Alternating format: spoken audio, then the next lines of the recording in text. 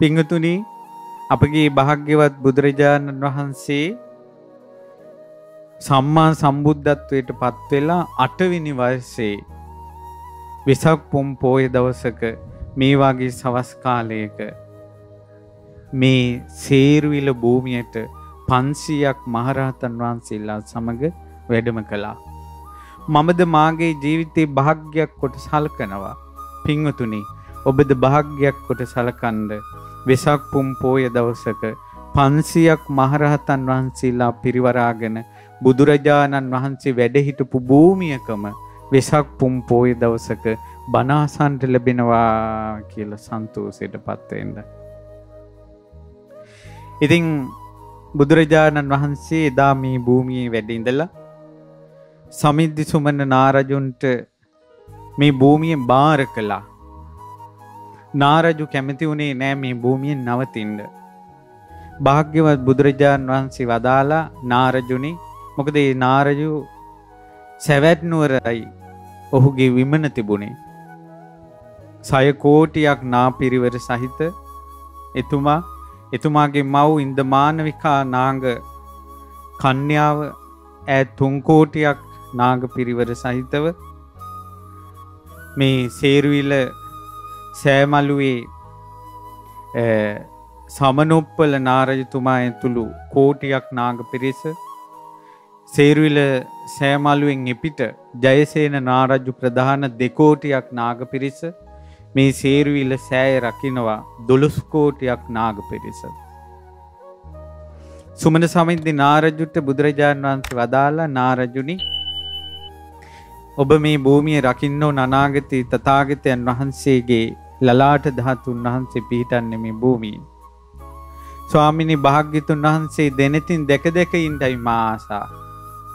නාරජුනි මීට කලින් පහළ වී වදාළ කකුසඳ බුදුරජාණන් වහන්සේ මේ භූමියට වැඩම කළ මොහොතේ ඔබයි මේ භූමිය ආරක්ෂා කළේ. කකෝනාගමන බුදුරජාණන් වහන්සගේ කාලෙත් මේ භූමිය රැක්කේ ඔබ. කාශ්‍ය බුදුරජාණන් වහන්සේ කාලෙත් මේ භූමිය රැක්කේ ඔබ. වරක නා රජ කෙනෙක් ලෙස වරක දිව්‍ය රාජයෙක් ලෙස මේ භූමියේම ඔබට බවන පහළ වුණා. ඒ නිසා ඔබට හිමි වූ දායාදයක් තමයි මේ භූමිය ඔබගේ භවන කරගන්න එක. එනිසා අනාගතයේ ලලාට ධාතු සෑය වෙනුවෙන් මේ භූමිය රැකගන්න කියල නාරජුන්ට පැවරුවා. වෙසක් පුම් පෝය දවසක තමයි විමංගත වනේ ඒ නාරජු මේ සේරුවිල්ල භූමියේ.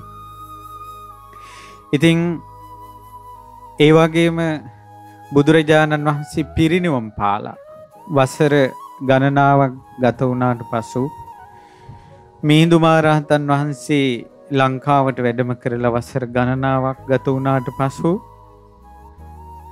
කාවන්තිස්ස නිරිඳු චුල්ල පිණ්ඩපාතක තිස්ස මහරහතන් වහන්සේ ඇතුළු සඟරුවන් වහන්සේල්ලා පෙරටු කරගෙන මේ භූමිය සොයාගෙන ලලාටධාතුන් වහන්සේ වඩම් වගෙන ආ ගමනේ අදවාගේ විසප්පුම් පෝය දවසක තමයි මේ සෑභූමිය සමතලා කරලා මේ උතුන් සේරුවිල මහා සෑරජාණන් වහන්සේට පළමු මුල් ගඩුල තැන්පත් කළේ අදවාගේ විසක් පුම්පුයි දවසක.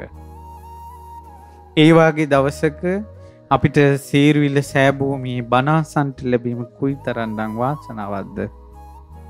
ඉතින් පින්වතුනි මේ උතුන් චෛත්‍යරාජාණන් වහන්සේගේ ඇතුළේ ඉතාම සුවඳවත් වූ ධාතු ගර්භයක් තිබෙනවා. මේ සේරුවිල සෑරජාණන් වහන්සේගේ ධාතු ගර්භයේ දෙවෙනි වෙන්නේ රුවන්ගලි මහාසෑයේ ධාතු ගර්භයට පමණයි. රුවන්ගලි මහසෑයේ ධාතු ගර්භය කරවන්න දුටුගැමුණු රජ්ජුරුවන්ට අත්දැකීමක් විදිහට ලැබුණේ තමන්ගේ පිය රජු ලලාට ධාතු සෑයේ කළ ධාතු ගර්භයයි.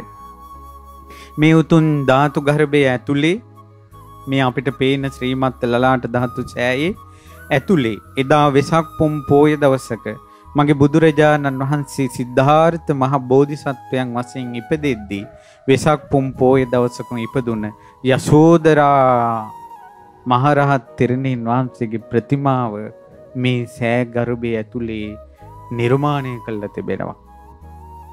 මේ සෑ ගර්භය ඇතුළේ වෙසක් පුම් පෝය දවසක සිදුහක් කුමරු සමගම ඉපදුන චන්න ඇමතිගේ රූපය ඒවාගේම කන්තක අශ්වයාගේ රූපය කාලුදා යමාත්‍යයාගේ රූපය ආනන්ද තෙරුන් වහන්සේගේ රූපය ඒවාගේම ජයසිරි මහා බෝධීන් වහන්සේගේ බෝධි වෘක්ෂය මේ ශ්‍රේරුවිල ලලාට ධාතු සෑයේ සුවඳවත් ධාතු ගර්භයෙන් නිර්මාණය කළා තිබෙනවා. වෙසම්පුම් පෝය දවසක සහජාතු වස්තු සිදුවත් බෝසතුන් සමග උපන් ඒ වස්තු සියල්ල නිර්මාණය කළා තිබෙනවා.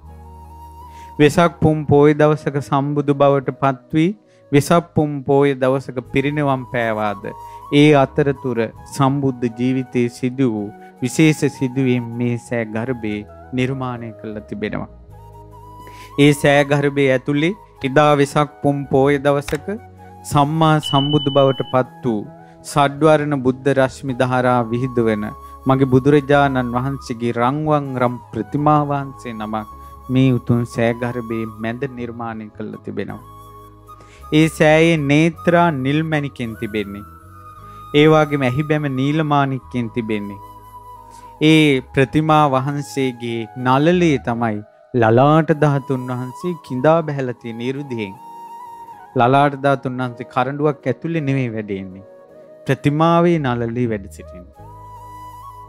කේස ධාතුන් වහන්සේ කරඬුවක් ඇතුලේ නෙමෙයි වැඩ සිටින්නේ. ඒ ප්‍රතිමාවේ කේස ධාතු වල දක්ෂිනාවර්තව කැරකිලා වැඩ සිටින්නේ. ඉතින් ඒ ශ්‍රීමත් ලලාට ධාතුන් වහන්සේට උපහාර පූජා පිණිසයි මතක් කළේ. පින්වතුනි කලාතුරකින් ලෝකෙට සම්මා සම්බුදුරජාණන් වහන්සේ නමක් පහළ වෙන්නේ. මේ මහා භද්‍ර කල්පෙත් බුදුරජාණන් වහන්සේ නමක් මිනිස්යාගේ ආයුෂ අවුරුදු 100ක් වුණ කාලෙත් පහළ වුණා නෙව. මග්නිසාදයක් මීට කලින් ලෝකේ බුදුවරු පහළ වෙලා තිබෙන්නේ අවුරුදු 80000ක් තියෙන කාලේ. අවුරුදු 70000ක් තියෙන කාලේ. අවුරුදු 60000ක් තියෙන කාලේ. අවුරුදු 40000ක් අවුරුදු 30000ක් අවුරුදු 20000ක් කාලේ ලෝකෙ බුදුවරු පහළ වෙලා තියෙනවා. බලන්ට අසිරියක්. නිරාගිනි මැදින් කෙසරු සලා සුවඳ විහිදවා නැගෙන නෙළුම් කුසුමක් වගේ මේ මහා භද්‍ර කල්පේ බුදුරජාණන් වහන්සේ නමක් මිනිස්සුන්ගේ ආයුෂ අවුරුදු 100ක් ගිය තැන පහළ වුණා නෙව. බුදුරජාණන් වහන්සේ නමක් පහළ නොවුණා නම් අපිට කුමකින් කුමක් සිදුවේවිද? දැනටත් සිද්ධ වී ඇති වින්නහි දෙස බලාගෙන යන කල බුදුව කෙනෙක් පහළ නොවුණා නම් අන්ධකාරයෙන් අන්ධකාරයට නිරාගින්නෙන් නිරාගින්නට ලෝදිය හැලියෙක් ලෝදිය හැලියට වැටෙන නිරි සත්තු වෙවි මේ සංසාරේ කෙලවරක් නැතුව යන්ට ඉරණං අදාගත්ත මනුස්ස වර්ගයා අතරයි අපි ඉපදුනේ.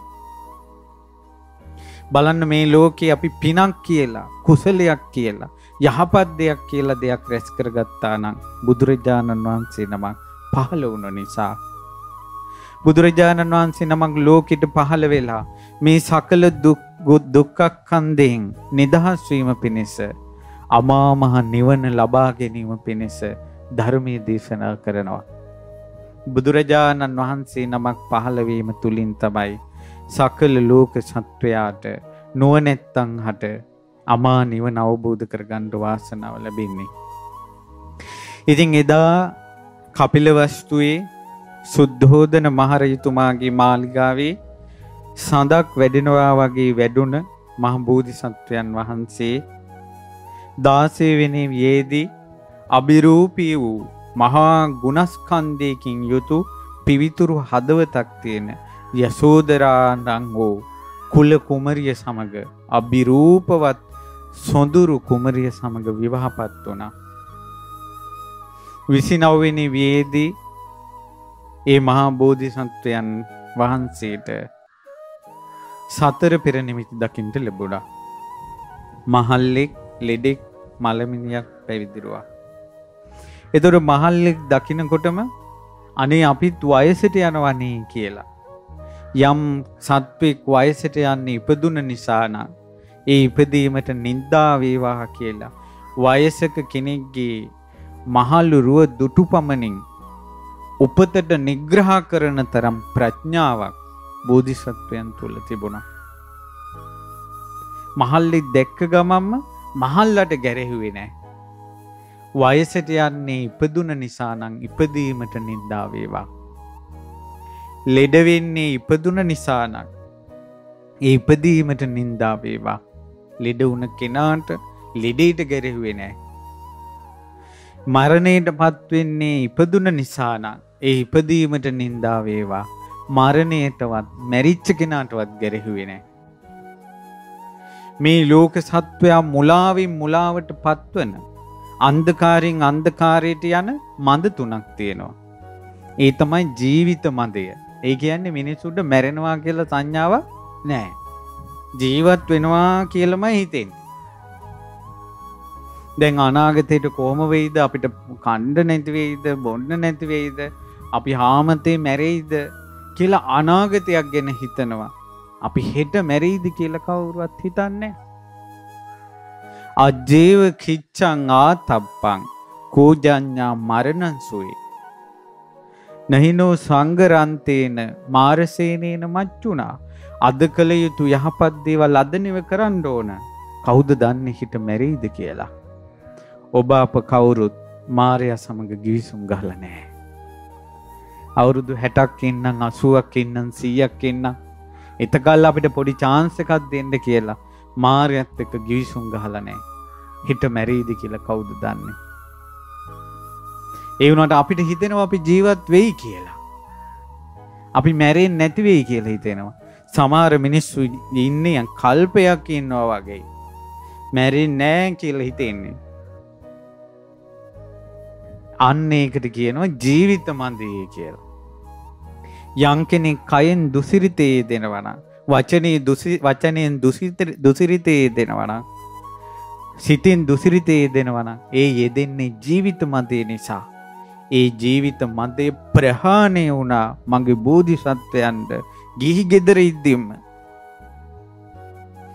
ගෙවල් අත්තරලා අභිනිස්ක්‍රමණය කරන්න පා ඔසවන්න කලින් ජීවිත මන්දේ ප්‍රහණය වුණා. ඒ නිසා දවස් පහළවකට එක දවසක් මුං ඇටයක් වලඳලා දුෂ්කර ක්‍රියා කළා මම මැරෙයිදෝ කියලා හිතෙන්නේ කියන්නේ බය නෑ. ජීවිත මදේ නැති නිසා. පාන වතුර කෝප්පයක් බීලා දවස් දවස් පහළවක් ඉන්නවා. මම මැරෙයිද කියලා හිතෙන්නේ මරණයට බය නෑ. ජීවිත මන්දේ ප්‍රහාණය වෙච්ච නිසා. මේ ඇස් ඇතුළට ගිහිල්ලා ලිඳක වගේ ඇහි කළු ඉංගිරියාව පෙනුණා. ඇට සැකිල්ල පෙනුණා බඩ අල්ලනකොට පිටගොන්ද හෝනා පිට අල්ලනකොට බඩහ ඕනා. මේ රෝම කූප ගැලවි ගැලවි වැටුණා. ශරීරය ඇට සැකිල්ලක් වුණා. මළමුත්‍රා කරන්න නැගිට එද්දී ඒ මළමුත්‍රා ගොඩේ වැටුණා. බයනෑ ඇයි ජීවිත මන්දේ ප්‍රහාණය වෙච්ච නිසා. අපි මෙච්චර දත කටකන්නේ මැරෙන්ට බයයි. මේ වාතාරෙන්ට බයයි. දාලයන්ට බයයි. ඒ ජීවිත මන්දය මහ බෝධිසත්වයන්ගේ හිතෙන් තරුණ වයේදීම අභිනිස්ක්‍රමණයට පා ඔසුවන්ඩ කලින් ප්‍රහණය වුණා. මැරෙනවා කියන එක හිතට එච්චරකින්දා බැස්සා. ඊට පස්සේ ලෙඩෙක් දකිනකොට ඒ නිරෝගිකම පිළිබඳව තිබ්බනං ආරෝග්‍ය මදය. ඇයි මිනිසුන්ගේ මේ ඔක්කෝම සෙල්ලා ලෙඩවෙන්න නෑ කිය අදහසත් එක්කනින්. බලන්නක මනුස්්‍යකුට ලෙඩක් වුනම කොරෝන හැදුනාවේ මනුස්්‍ය අසරණ වෙන අසරණ විල්ල. පිළිකාවක් හැදුනට පස්සේ ලෝකෙම කඩා වැටුණ වගේ අසරණ වෙන අසරණ විල්ල. ඔපරේෂන් එකක් කියනකොට බයවෙන බයවිල්ල. කකුල කපන්න ඕන කියනකොට. ඊළඟට හද හදවතේ මෙහෙම සැත්කමත් තියෙනවා කියනකොට. එහෙම නැත්තම් මොලේ මෙහෙම සැත්කමත් තියෙනවා කියනකොට කොහොමද බය වෙන බයවිල්ල? වසංගත කාලේ කොහොමද බය වෙන බයවිල්ල? මගේ බෝධිසත්වයන් වහන්සේට කය නිරෝගී කියලා. මන්නන් ලෙඩ වෙන්නේ නැහැ කියලා යම්කිසි ජීවිත ආරෝග්‍ය මදයක් තිබ්බද? ඒ ආරෝග්‍ය මදය ගිහි ජීවිතේම ප්‍රහාණය වුණා. ඒ නිසා එදා එක මුං ඇටයක් වලඳලා ඉද්දී මම මෙහෙම කෑම නොගත්තොත් මාව ලෙඩ වෙයිද කියලා හිතුන්නේ මොකද හිතෙන් නිරෝගිකම වැළඳගෙන නැහැ. ලෙඩ වෙනවා කියන සංඥාවෙන් වාසය කළා. තමන් මහ වික්කට භෝජනය කියලා මහා බෝධිසත්වයෝ දුෂ්කර ක්‍රියා කරද්දී භෝජනයක් වැළඳුවා. ඒ කියන්නේ තමන්ගේම මුත්‍රා තමන්ම බොනවා. තමන්ගේම අසූචි තමන්ම කනවා. දුෂ්කර ක්‍රියා කරන කාලේ අවසානයේ මුත්‍රා අසූචි ශරීරේ නැති වෙලා ගියා. ගවයන් ඉන්න ගාල් වලට ගිහිල්ලා මුල් කාලේ ඒ පොඩි ගව පැට්ටු වර්චස් කරන දේවල් ආහාරයට අරන් තින ඒ කාලේ තිබ්බ දුෂ්කර ප්‍රතිපදා මෙහෙම වෙද්දී මාව ලෙඩ වෙයිදෝ කියලා ලිඩේට බය වුන්නේ අද පිනිපොදක් කෙනෙකුට මිනිස්සු සෙම හැදෙයිද කියලා බයයි දෝවිලි ඇවිස්සෙනකුට ලෙඩ වෙයිදෝ කියලා මිනිස්සු බයයි කවුරු හරි කහිනකොට උගුර රිදෙනවා කෙනෙකුට අනේ අපිටත් කොරෝනා හැදෙයිදෝ කියලා මිනිස්සු බයයි ඔයාගේ ශරීරය මොනහරි ගැටිත්තක් වගේ නහරවල තියෙනවා කියනකොට පිළිකාවක් දූ කියලා බයයි. හේතුව ශරීරයෙන් නිරෝගී මම ලෙඩ නැති කෙනෙක් මෙන්න ලෙඩක් හැදිලා කියලා අමුතුවෙන් ආපු දෙයක් විදිහට බය වෙනවා. බෝධිසත්වයෝ ලෙඩවීම සත්වයා උරුම කරගෙන ඉන්නේ කියලා ආරෝග්‍ය මන්දේ ප්‍රහාණය කරපු සිතෙන්මයි පළවෙනි පියවර අභිනිෂ්ක්‍රමණයේ දේශෙව්වේ. ඒ නිසා කොයිතරං ආහාරපාන හිගවිලා ගියත් ඇට සැකිල්ලක්ව වැටී ගියත් මාව ලෙඩවී කියල බෝධිසත්වයම් බයවුනේ නෑ. ඒ බෝසත් සිත කම්පා නෑ අකම්පිතයි මගේ බෝධිසත්වයන්ගේ සිත බුදුරු ගැන කවර කතාද. මේ ලෝක සත්වයා තවත් දුෂ්චරිතය දෙන මදයත් තමයි ජීවිත මදය ආරෝග්‍ය මදය ඊළඟට ජීවිත තරුණ මන්දේ. අනිත් එක තමයි තරුණ මදේ. තරුණ මදේ කියලා කියන්නේ මේ වයසට යන්නේ නැහැ කියලා හිතන එක. තරුණකම. ඒ තරුණකම ඉහට ගහපු ගම එයා සම්පූර්ණයෙන්ම ආයේ එතනින් එහා දෙයක් නැහැ. දැන් මේ දඟල් ඇවිල්ල නැටිල්ල ඉලන්දාරින්ගෙන් එන්නේ වයසක අයට වඩා ওই තරුණ මදේ නිසා. මගේ බෝධිසත්වයන් වහන්සේ මම වයසට යන කෙනෙක් දිරණ කෙනෙක් කියලා ජී තරුණ මන්දේ ප්‍රහාණය වුණ සිටින් සිරිපා එසෙව්වි අභිනිස්ක්‍රමණයට. ඒ නිසා එදා දවස් පහළවකට වතාවක් මොං ඇටයක් වළඳා සිටිද්දී මගේ දෙතිස් මහා පුරුෂ ලක්ෂණයන්ගෙන් හෙබි රූපේ වෙනස් වෙනවා නේද කියලා බයක් හිතුන්නේ. අද මිනිස්සු අව්වේ යන්න බයයි කළුවේ කියලා. කොණ්ඩේ සුදු වෙනකොට බයයි. හම රැලි වැටෙනකුට බයයි. අතපය වාරු නැති කෙනෙකුට බයයි. තරුණකම වැළඳගෙන ඉන්නවා. තරුණකම වැළඳගෙන ඉන්නවා. බොහෝ දෙනාගේ ජීවිතේ දිහා තමන් තමන් දෙස බැලුවොත් තමන්ගේ වයසට නෙවෙයි හිත තියෙන්නේ. වයසක මිනිස්සු තරුණ හිතෙන් ඉන්නවා. තරුණ සිතිවිලි වලින් ඉන්නවා. පරිණත සිතිවිලි නැතුව ඉන්නවා. ළමාකමෙන් ඉන්නවා බොළඳකමෙන් ඉන්නවා ඉලන්දාරී කියලා. අපි අතපය වාරු නැතිව ලෙඩෑන්දට වැටින තරන් වයසට යනවා නේද කියලා කල්පනා කරන්නේ. බෝධිසත්වයන්ගේ අභිනීල නෙත් තිබ්බා රංවන් රන් ශ්‍රී දේහේ තිබුණා. ඒවාගේම සුකුමච්චවි දූවිලි නොරදින සමක් තිබුණා. මේ අත්වල පාවල මතුපිට මස් පිරිලා තිබුණ දෙතිස් මහම් පුරුෂ ලක්ෂණ ඒ සියල්ල ඇතුළට කිඳා බැස්සා ඇටසැකිල්ලක් වුණා. අතුරු දහන් වෙලා ගියා දිතිස් මහ පුරුෂ ලක්ෂණයන්ගෙන් බාහිර පෙනෙන ලක්ෂණ දුකහිතුන්නෑ. දුකෙන් අදුස්ක්‍රක්ක්‍රියා කළේ නෑ වීරයෙන් දුස්ක්‍රක්ක්‍රියා කළේ. ඒ මඳ තුනම ප්‍රහණය වුණා. බුදුරජාණන් වහන්සේ වදාලා මේ ජීවිත මන්දේ ආරෝග්‍ය මන්දේ තරුණ මන්දේ කියන මන්ද තුන නිසා තමයි සතර අපායේ සත්වයා පිරෙන්නේ. මිනිස්සු දුෂ්චරිතය කරන්නේ. එහෙනම් අපේ අතින් යම් දුෂ්චරිතයක් වෙනවා නම් සතර අපායේ යන කෙලෙස් කර්ම සකස් වෙනවා නම් අපි තුලින් ප්‍රහාණය නොවුනේම ජීවිත මන්දයයි. ආරෝග්‍ය මන්දයයි. ඊළඟට යවුන් යෞවන මන්දයයි. ඉතින් ඒ මද තුනම ප්‍රහාණය වුණා. එතකොට කාත් කවුරුවත් මේවා විස්තර කරන්න කරලා දෙන්න කලින් එහෙම කරන්නේ නැතුව තමා විසින්ම සතර අපායට යන සංයෝජන ප්‍රහාණය කරගත්තා කියනවා නම් ඒ ආශ්චර්යයක් නෙවෙයිද? ඒ කෙලෙස් ප්‍රහාණය කර ගැනීම ආශ්චර්යයක් නොවේද? එයින් අදහස් වෙන්නේ බෝසත් කාලයේම ගිහිගෙදරින් නික්මෙනකොටම සෝවන් වුණා කියන එක නෙවෙයි. ඒ හේතු නැති කළා. ඊට පස්සේ මහා බෝධිසත්වෝට හැම වෙලාවම පෙනුනේ රාජ සම්පත්තිය. සොඳුරු යසෝදරාගේ රිදී සීනුවක හඬවන් හඬක් යසෝදරාවන්ට තිබුණා. කිඳුරුවකගේ ඇස්වල් ඇස් පරයාගේ සුන්දර නෙත් සඟලක් යසෝදරාවන්ට තිබුණා.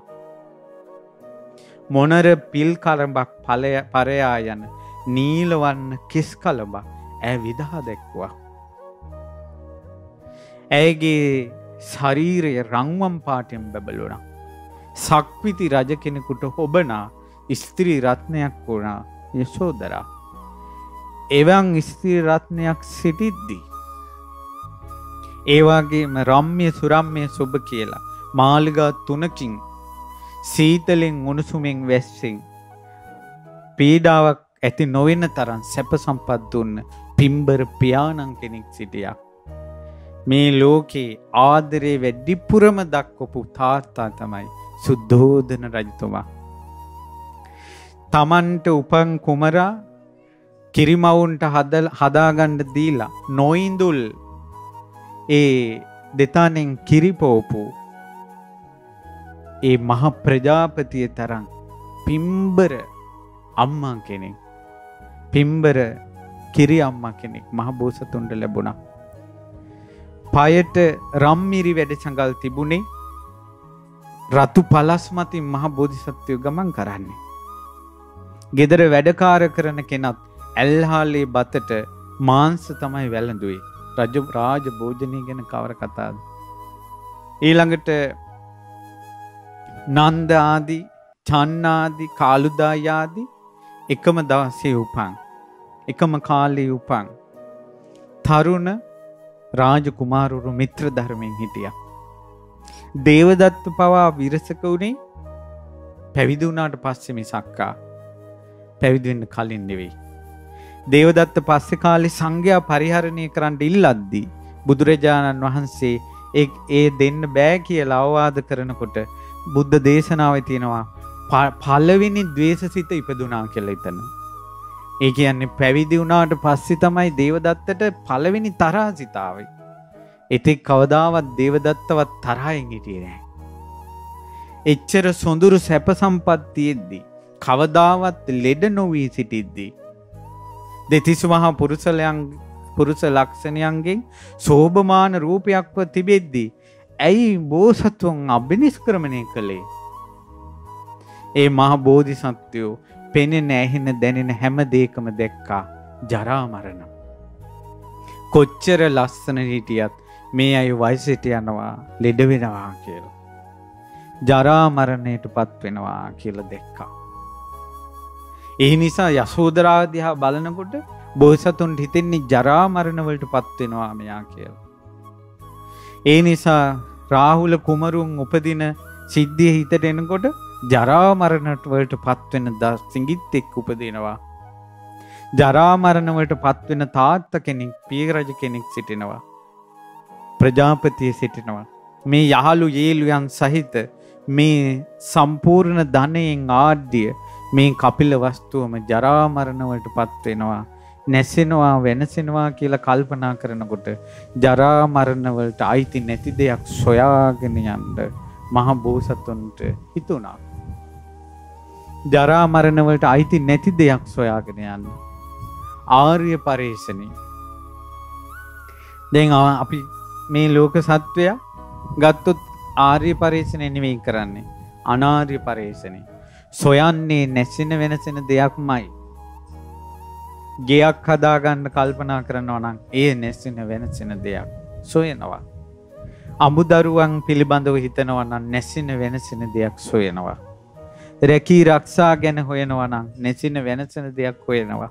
මිල්ල මුදල් ගැන හොයනවා නම් නැසෙන වෙනසින දෙයක් හොයනවා. ඉඩ කඩන් ගැන හොයනවා නම් නැසෙන වෙනසින දෙයක් හොයනවා. ඔබ දිහා බලන්න ඔබ යමක් ලබාගණ්ඩ කැමතිනම්. ඔබේ යම් ප්‍රාර්ථනාවක් ඉෂ්ට කරගන්න කැමතිනම්. ඔබ හොයන දේ ඔබ ඉෂ්ට කරගන්න හදන ප්‍රාර්ථනාව ජරා මරණවලට අයිති දේවල්. ඒවා කවදහරි නැතිවෙල යන දේවල් ඔයාල හොයන්නේ.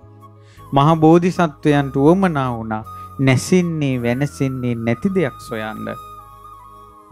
ඒ නිසා ආර්ය පර්යේෂණය පිණිසයි මහ බෝසතුන් අභිනිෂ්ක්‍රමණය කළේ. ඒ සොඳුරු වූ සාන්ත පදය වූ අමාමහ නිවන සොයාගෙන ගියා. ඒ සොයාගෙන යන ගමනේ එදා ඇසල පුම් පෝය දවසක කන්තකා සුපිට නැගී.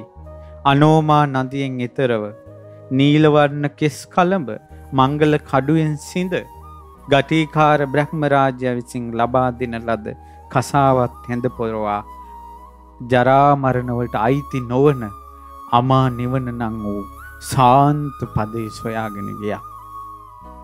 මගේ බුදුරජාණන් වහන්සේ. කවුරුත් දන්නේ සාන්ත පදේ කියන්නේ මොකක්ද කියලා. ඒ ජරාමරණවලින් නිදහස් වුන දේ මොකක්ද කියලා කවුරුවත් දන්නේ. කවුරුවත් දන්නේ නැති දෙයක් සොයාගෙන යනවා. ආලාර කාලාම උද්දකරාම උද්දකරාම පුත්‍ර ආදී ගුරුවරුන්ගෙන් සාන්ත පදේ ගැන විමසුවා. ඒ සියලු දෙනා සමාධියක් ගැන කිව්වා. ඒ සමාධියේ හට ගැනීමක් පේනවා නැතිවීමත් පේනවා ඒ අතර වෙනස් වීමක් පේනවා. ඒ හැම එක්කම ජරා මරණම පෙනුණා. සමාධියේ පවා ඇතිවීම නැතිවීමත් පෙනුණා. ඒ නිසා තමා විසින්ම ඒ සාන්ත පදේ හොයාගන්න ඕන කියලා මහ බෝධිසත්වයෝ සයවසරක් උරුවේ ජනපදේ දුෂ්ක්‍රක්‍රියා කළා. ඇස් කිඳා බහිනකල් ඇටි සැකිල්ල මතුවී පෙනෙනකල්. ඒ නමුචී නං වූ මාරයා පැමිණ කිව්ව ඔබට ජීවත් වෙන්න තියෙන්නේ දාහෙනු දසම දසම දසම බින්දුවයි. සිද්ධාර්ථ ඔය අත්තරින්ඩ ඔබ සොයනේ සාන්ත පදේ කියන එකක් මේ ලෝකෙ කවුරුවත් හොයාගත්ත එකක් නෙවෙයි. ඒක ලෝකෙ තියෙන එකක් නෙවෙයි. ඕක අතෑරන් අතාරින්ඩ කියලා කියා හිටිය. ඒ එහෙම කියා සිටිද්දී මහා බෝධිසත්වයන් වහන්සේ අර ඇට සැකිල්ලක්ව සිටි මහා බෝධිසත්වයන් වහන්සේ මාරයට පවසා සිටි අයිම්බා මාරය. නොඹ මාරසේනා දහයකින් මේ සත්වයා බැඳල පවත්ව ගන්නවා. කාමාත්තේ පටමාසේන දුතියා අරති උච්චති කාමෙන් අරතියෙන් සාපිපාසාවෙන් තෘෂ්ණාවෙන් මකු බවෙන් නිදිමත බවින් ඊළඟට දැඩි බවින් ලාභ සත්කාරවලින් ඔබ බැඳ තබා ගන්නවා. මේ සත්වයා. එතකොට සම්මා සම්බුදු නොවී සිටියදීම දසමරසේනා කවුද කියල දැනගත්තා. ආස්තරය නැද්ද. මගේ බුදුරජාණන් වහන්සේ ගැන කවර කතාද මහ බෝධිසත්වයෝ ආශ්චරයයි අත්භූතයි. සම්බුදු නොවී සිටියදීම දසමරසේනා හඳුනාගත්තා. කියන එම්බා මාරය මට මේ සටනින් ජයග්‍රහණය කරලා ජයග්‍රහණය නැතුව මැරෙනවන ඒක මට සැපයි පැරදිල ජීවත් වෙනවට වඩා. මේ සිද්ධාර්ථගේ හදවතේ සාන්ත පදය සොයාගන්ද අමා නිවනට පත්වෙන්න තියෙන වීරිය කොච්චරද කියනවන එම්බා මාරය බලාපං අර සීතල ජලය ගලාගෙන යන නේරංජරා නදිය. මගේ වීරි අධිෂ්ඨාන කරනකොට මේ හමාගෙනෙන සුළඟ මගේ ශරීරයේ හරහා ගිහිල් අර නේරංජරා නදිය හරහා ගියොත් ওই නදිය සිඳෙන්න තරම් මගේ වීරිය ප්‍රබලයි කිව්වා. පැරදිලා ජීවත් වෙනවට වැඩිය මේ සටනේ මේ යාම මට සැපයි කිව්වා. පියවරක් පියවරක් පාසා හත්වසරක් හත්වසරක් පියවරක් පාසා මාරයා පැමිණිලාවත් ඒ මහා බෝසතුන්ගේ හිතේ වීරිය නැති වෙලාවක් හොයාගන්න බැරි වුණා. සිහිය නැති වෙලාවක් හොයාගන්න බැරි වුණා. අමා නිවනට තියෙන කැමැත්ත නැති වෙලාවක් හොයාගන්න බැරි වුණා. අපි නිවන් දකින්න ඕන කියනකොට කොයි තරම් සාදුකාර දුන්නත් ඒ සාධකාරය අපිට නැගෙන්නේ බණක් අහනකොට විතරයිනේ. ගෙදර ලිපළඟ ගියාට පස්සේ තම්බගන්නේ මොනවද කියලා හිතෙන්නේ. උදේ නැගිට්ටට පස්සේ අද ජීවිතය ගත කරන්නේ කොහොමදයි කියලා හිතෙන්නේ. ළමයි ඉස්කෝලේ යවන්නේ කොහොමදයි කියලා හිතෙන්නේ. අනේ පෝයට බණක් අහනකොට තමයි නිවන් දකින්න ඕන කියලා සාදු කියන්නේ. මාසෙකට වතාවක්. මගේ බෝධිසත්වයන්ගේ හදවතේ ඒ අමා නිවන නම් වූ සාන්ත පදයේ සොයාගන්න තියෙන කැමැත්ත වීරිය සිහිය නැති වෙලාවක් අවුරුදු හතක් පියවරක් පියවරක් පිටිපස්සේ මාරය ඇවිල්ලවත් හොයාගන්න බැරි වුණා. බලන්න මගේ බෝධිසත්වයන්ගේ තිබ්බ වීරිය සිහිය නිවන් දකින්න තිබ්බ කැමැත්ත. එදා විසක් පුම්පෝය දවසක සුජාතා පිම්බර උපාසිකාවකගේ උපාසිකාවගේ විසින් පිළියල කළ කිරිපිඩු හතලිස් නවයක් ගුලිකොට වලඳා නේරංජරා නදියේ උඩුගම්බලා යන රන්තැටිය දෙස බලා. නේ සීත නේරංජරා නදියෙන් මගේ බෝධිසත්වයන් එතරෝනා. එදා කවුරුත් දැනගෙන හිටියෙන් නෑ මේ නදියෙන් එතර වෙනව වගේ මේ මහා පුරුෂයා අද දවසේ සංසාර සාගරයෙන් එතර වෙන බව කවුරුත් දැනගෙන හිටියේ නෑ. ඒ වුණාට මහා බෝධිසත්වය අද එතර වෙනවා. අසංකේය හතරකුත් කල්ප ලක්ෂයක් දසපාරමී පුරපුරා පතපු දේ අද දව ශිෂ්ට වෙනවා. එදා වෙසක් පුම් පෝය දවසේ සඳ නැගී ගෙනවා. නේරංජරා නදියෙන් එතර වෙනකොටම නේරංජරා නදියෙන් එතර වෙනකොටම ඒ සොඳුරු වනල හැබේ වලා කුලක් වගේ වැඩුණ ජයසිරි මහා බෝධීන් වහන්සේ වැඩ සිටිනවා. ඒ බෝධීන් වහන්සේගේ නැගෙනහිර දිසාවට සොත්ති බමුණා විසින් දුන්න කුසතන අටමිට ඇතිරුවා. එහි පළඟක් බැඳගෙන අසුන් ගත්තා මාගේ ලේ ඇටමස් නහර ලේ සම මේ ආදිය වියලී ගියත් ඇට නහර ඉතිරි වුණත් මා මගේ සාන්ත පදය මම සොයන සාන්ත පදය අවබෝධ කරගන්න තාක් මා නැගිටින්නේ කියලා. ඒකද කියනවා වජ්‍රමය අධිෂ්ඨානය සෙලවෙන්නේ නැති අධිෂ්ඨානයෙන් කියලා. සෙලවෙන්නේ නැති අධිෂ්ඨානයෙන් අසුන් ගත්ත නිසා තමයි ඒ ආසනයට මොකක් කියලාද කියන්නේ? වජිරාසනය කියලා. මේ අධිෂ්ඨානයෙන් අසුන් ගන්නකොට කෙනෙක් මේ සාන්ත පදේ කියන එක සොයනවා නම් සාන්ත පදේ කියන වචනේ කියනවා නම් ඒට ගොඩක් තැතිගන්න සත්වයා බලවත්ව නැගී සිටියා. බිම්බරත් දැස සේනාව සමඟ පැමිණියා. බලන්ඩ පිංහතුනී බලන්ඩ මේ සිද්ධ වෙන දේ. ඒ තමයි පිංහතුනි මේ ලෝකේ යං කෙනෙක් රාග සහිතයි නම් දවේශ සහිතයි නම් මොහොල් සහිතයි නම් ඒ සියලු දෙනාම ඔහුගේ අතේ සිටින්නේ. ඒ රාග සහිත දවේශ සහිත මොහ සහිත කෙනා ඔහුට පාලනය කරන්න පුළුවන්. ඔහුට ඕන විදියට නටවන්න පුළුවන්. යම් දෙවියෙක් රාගදේශමෝහ සහිතයිද ඔහු ඔහුගේ යටතේ එන්නේ. යම් බ්‍රහ්මයෙක් රාගදේශමෝහ සහිතයින ඒ බ්‍රහ්මයා ඔහුගේ යටතේ සිටින්නේ. ඔහුට ඕන වුණොත් එහෙම ඒ සියලු දෙනා සිද්ධාර්ථයන්ට විරුද්ධව නැගී හිටවන්න ඒ සියලු දෙනාම එක තැනකට කැන්දන්න පුළුවන්. සිදුහත් බෝසතුන්ට විරුද්ධ කරවන්න පුළුවන්. ඔහුගේ විශාල සේනාවක් සිටිනවා මෙන්න මේ වගේ. ඒ තමයි දත් එලියට නෙරාගය සුයිසල් වූ ශරීර තියෙන ලේ මුකයෙන් වැගිරෙන මහා බලසම්පන්න නපුරු රෞද්‍ර රාක්ෂසයෝ යක්ෂයෝ ඇත්නම් ඒ යකෙක් දකිනකොට මිනිස්සෙක් ඒ මොහොතේම හදවත පුපුරලා මැරෙන තරම් බය වෙනවනම් එවැනි ඒක යක්ෂයෙක් දැකලා මිනිස්සු හදවත පැලිලා මැරෙනවා බය වෙලා එවැනි යක්ෂයෝ කෙල ගණනක් කෝටි ගණනක් ඔහුගේ සේනාවේ ඉන්නවා. එවැනි යක්ෂයෝ සියල්ල මහා බෝසත් බෝධි සත්වයන් දෙස මෙහිම බලාගෙන ඉන්නවා. මගේ සිද්ධාර්ථ මහා බෝධි සත්වයන්ගේ නිල්වන් දෙනට දෙනෙතට ඒ සියලු යක්ෂයෝ පෙනෙනවා. එක යක්ෂේ දැක්කොත් මනුස්සයන්ගේ හදවත පුපුරන එවැනි යක්ෂයෝ කෝටි ගානක් වට වෙලා බලාගෙන ඉදිද්දී ගිනි ගන්න නේත්‍රයෙන් මහා බෝධිසත්වයෝ සංසුන් සමාහිත දෙනෙති. ඒ දෙස බලා සිටියා කියලා යමක් ඇද්ද? ආශ්චර්යයි පින්වතුනි. අద్භූතයි ආශ්චර්යයි. ඒ මොහොතේ දෙවියන් පවා ඔහුගේ බන්ධනෙන් බැඳී බ්‍රහ්මයන් පවා ඔහුගේ බන්ධනෙන් බැඳී.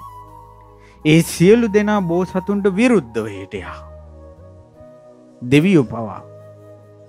ඒ අතර සක්දිවිඳුන් සතරවරන් දෙවියන් සහිත ඒ මහා දෙවිවරු බෝසතුම් පිරිවරාගෙන සිටියාද ඔවුන්ට පවා බයතැති ගැනීම හටගත්තා කියනවා. තව සුළු මොහොතකින් අපි පවා මේ බෝසතුන්ට විරුද්ධ වෙනවා කිය. නිරේ ඇද්ද යම්තාක් ලෝදිය ඒ සියලු ලෝදිය බටහිර දෙසින් බෝසතුන්ට පිටිපස්සෙන් සියලු නිරේවල් වල තියෙන ලෝදිය එක දෝතට ගෙන හැල්ලුවා. ඒ ලෝදිය සැර දකි දැක්ක සැනින් සක් දෙවිඳුද සතරවරන් දෙවියන්ද මහා දෙවිවරුද ඒ මොහොතේ අතුරුදහන් වෙලා ගියා. ඒ මාර යුද්ධයේදී රෝමෝත් ගමනේ නොවුන බ්‍රහ්මයෙක් නැති තරම් දෙවියෙක් නැති තරම් මේ ලෝක සත්වයා බුදුවරු නැති කල ලෝකේ ශ්‍රේෂ්ඨතම කෙනා කියලා වන්දනා කරන්නේ ඇඟිලි 10න් ලෝක ධාතු 10ක් එළිය කරන බ්‍රහ්මයාටයි. ඒ බ්‍රහ්මයා පවා බය වුණා එදා. එදවට බ්‍රහ්මයත් බය වුණා නම් එතනින් මෙහා අය ගැන කවර කතාද. ඒ සියලු දෙනා බයවෙද්දී මගේ බෝධිසත්වයන් වහන්සේ සාන්ත හිතින් කරුණා සිතින් මෛත්‍රී සිතින් වජිරාසනයේ වැඩ සිටියා කියලා යමක් ඇද්ද තුන් ලෝකේම සම්මා සම්බුදුවෙන්ටත් කලින් මහා වීරයාණන් වහන්සේ මගේ මහා බෝධිසත්වයෝ සම්බුදු නොවී සිටියදීම බය නෑ. ඉතින් එදා ඒ දසමාර යුද්ධයේදී මාරය අහනො සිද්ධාර්ථ යාසනින් උඹ නැගිටියනින්. මා බෝධ සතුන් සොඳුරු මුව මඩල විවරකට අසනවා නුඹට මේ භූමියයට උඹට මොකක්ද තියෙන සාක්කිය දසමාර සේනා සාක්කි දුන්නා අපිටයි අයිති අපිටයි අයිති ලෝක දහත්තුව දෙවනක්වෙන්ට සිනහා නැංහෝ දමූචිනං වූ මාරයා. සිද්ධාරත මහා බෝධිසත්වෙන් අහනවා නොඹට මොකක්ද තියෙන සාක්කිය. එදා මගේ මහ බෝධිහත්වයන් වහන්සේ සැන්දෑ වලාවක් වන් වූ චීවර ධාතුවෙන් වලාව අතරින් විහිදෙන විදුලියක් වන් වූ ශ්‍රී හස්තය මෑත් කොට මිහි මඩලේ තැබුවක්. මිහි මණ්ඩලේ තබා ධරති මාතාවගෙන් ඇහුවා. එම්බා ධරති මාතාව සාන්ත පදය සෙවීම පෙනෙස මා දන්දුම් වග තී නොදන්නීද. සංසාරය මම දන්දුන්නේ කලයකින් වතුර අනි පැත්තට හරවනවා වගේ. කලේක වතුර පිරිලා තියද්දෙන් අනි පැත්ත හරවනවා. අනි පැත්ත හරවන්නේ ඉතුරු කරනද ඔක්කොම දෙන්නද. ඒ වගේ සංසාරය මම දන් දුන්නේ. මේ අහස්සෙ තියෙන තරු අඩුයි බෝසතුන් ගලවා දුන්න ඇස් වැඩි. සතර මහා සාගරේ ජලය අඩුයි උරපත්ත පලල දුන්න ලේ වැඩි. මේ මහපොළුවේ පස් අඩුයි දුන්න ජීවිත ගණන වැටි. දෙනතවන් දරුවන් කඳුළු වෙනකුට කඳුළු වෙනුවට ඇසෙන් ලේ වැගිරෙද්දී දුකට දරු දුකට දෙනතවන් දරුවන් දන් දුන්නේ. ඒ වගේ ප්‍රිය පතිනිය ඈ යසෝදරා සංසාරේ දන් දුන්නේ කලයක් අනිත් පැත්තට හරවනවා වගේ ඉතුරු කරගෙන නෙවෙයි මුළු හදවතින්ම අතෑරලා එම්බා ධරති මාතාව මා පිරු දාන පාරමිතාව තී නොදන්නේද අමුෘත වූ සාන්ත පදය සොයාගෙන අමා නිවන සොයාගෙන නිවන් දකිින්ට ඉච්චර දෙයක් කළා ඊළඟට මහ බෝධිසත්වයන් වහන්සේ සීල පාරමිතාව පිරුවා. සෙමර කියන මුවෙක් ඉන්නවා. ඒ සෙමර කියන මුවාගේ ලස්සන වලිගයක් තියෙනවා. ඒ සෙමර මුවා කැලෑව අතරින් යද්දි ඒ වලිගයේ දැවටුනොත් ගහක හරි ඒ වලිගේ ලෝම කැඩෙන්න දෙන්න. මැරුණත් එතන ඉන්නවා වලිගේ කඩාගෙන යන්නේ. සෙමර මුවා වලිගේ රකින්නවා වගේ. ඒ වගේම කිරලා බිජු රකින්නවා වගේ. මේ අහස පොළොව පැලී ගියත් මම සමාදන් වූ සිල්පද මං කඩලා නැහැ සංසාරේ. මා එලෙස සීල පාරමිතාව රැකූ බව. ඒ අභිරූපී වූ යසෝදරා වගේ සංසාරයේ සොඳුරු කාන්තාවන් සමග එක ඇඳේ අවුරුදු සිය ගනම් බඹසර රැකලා. තපස් රැකලා. බ්‍රහ්මචරියාව පුරුදු කරලා. සත්‍ය වචන පුරුදු කල්ලා මා සිල් රැක්කා. එම්බා දරති මාතා ති නොදන්නේ දෙය. මා සංසාරයේ දානන් සීලංචනෙක්කම්මං නයිස්කරුම පාර්මිතාව මා පිරුවා මං ගෙදරින් ගිහිල්ල තියෙන ජීවිත අසංකීය හතරකුත් කල්ප ලක්ෂයක් ජීවිතවලදී මහා බෝධිසත්වයන් උපනෝපන් ජීවිතවලදී ගිහි ජීවිතේ රැඳිල හිටපු ජීවිත අඩුයි මහන වෙලා හිටපු ජීවිත වැඩි. මං ගෙදරින් එලියට ගියේ අභිනිස්ක්‍රමණය කළේ බන්ධනාගාරයකින් එලියට යනවාගේ හිරෙන් එලියට යනවාගේ. හිරෙන් එලියට යන කෙනා හිරය දිහා බලබලා යන්නේ. හිරෙන් එලියට ගිහිලා ආයෙත් මං හිරේ වැටෙනවනම් හොඳයි කියලා හිතන්නේ නෑ. මං ඒ වගේ ගෙදරින් ගියේ ආයෙ ගෙදර දිහා බලලා නෙවෙයි. මං තපස් රකින්න ගියාට පස්සේ ආයෙ මට ගෙදර යන්න ඇත්තම් ආයෙ මට සිවුරු ඇල්ල කසාද බඳින්න ඇත්තම් දරුවෝ හදන්න යන්න ඇත්තම් කියලා අසංකීය හතරකුත් කල්ප ලක්ෂයකට හිතිලා නැහැ. මේ තුන් ලෝක ධාතුවේම වැඩිපුරම මහාන වෙලා තියෙනවනම් ගිහි ජීවිතේ අත්හැරලා තපසට ගිහිල්ලා තියෙනවනම් ඒ මගේ බෝධිසත්වයෝ හිරෙන් නිදහස් වෙලා යනවා වගේ ගිහි ජීවිතේ බන්ධන වලින් නිදහස් වෙලා ගියේ. ලේසි බන්ධනයක් නෙවෙයි පෙරුම් පුරාගෙනම සිතිවිල්ලකින්වත් හිතරිද්දන්න නැති යසෝදරා වගේ පතිනියන් අත්තරලා ගියේ. දෙපාරක් කතා කරන කල් ඉන්න ඇතු එක වචනයෙන් ඕනම පොකුණකින් මොන යකෙක්ගේ කටට හරි කියලා පියාණන්ගේ වචනයට නැගී හිටින ජාලය කුමාරයා වගේ පුත්‍රවරු අතඇරලගේ බෝසතුන්ට අම්මා කෙනෙක් වෙන්න ඕන කියලා බෝසත් අම්මා බෝසත් තාත්තාවෙන්ද පෙරුම් පුරුපු අම්මල තාත්තල අත්හැරලගේ රන් රිදී මුතු මැණික්වලින් නාවද්දී ඒ පයට පෑගෙන දූවිල්ලක් සේවත් නොතකා ගිහි ජීවිතයත් ඇරලගේ. එම්බහා දරති මාන්තාව මා පිරු නයිස්කරම පාරමිතාව තී නොදන්නේද. මගේ බෝධි සත්වයන්ගේ සසර ගමන. ප්‍රඥා පාරමිතාව මා පිරුවා. මට හොඳ දේ මොකක්ද කුසල් මොකක්ද අකුසල් මොකක්ද කියලා යහපත් දේවල් මං අනිත්තයගෙන් ඇහුවා. යහපත් දේවල් සොයාගෙන මම ගියා සංසාරේ.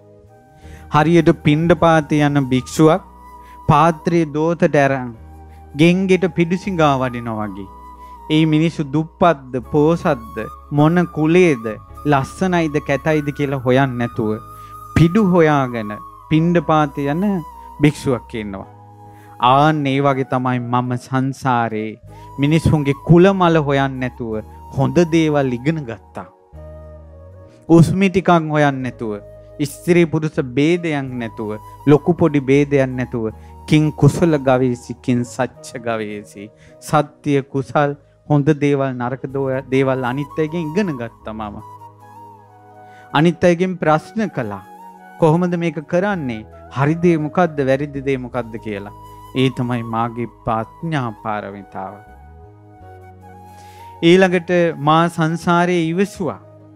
එම්බා ධරති මාතාව තී නොදන්නේද? මාගේ පිය රජු වෙලා දුෂ්ට පිය රජ කෙනෙක් ඉපදිලා මාගේ අත් දෙක කපද්දී කකුල් දෙක කපද්දී ඊළඟට හදවත පලලා ඒ කඩුවේ කඩුමාලය නං වූ කඩුවේ හදවත තියලා මෙහෙම කරගවනවා. එහෙම කරද්දිනොත් මා ඉවසුව බව ඔබ නොදන්නේද? මේ මහපොළොව හොඳ දේවල් වැටුනත් නරක දේවල් වැටුනත් ඉවසල ඉන්න වගේ මහපොළොව වගේ හිතකින් මන් සංසාරේ කන්තිී පාරමිතාව පිරුවේ. ඒ බව ඔබ නොදන්නේද.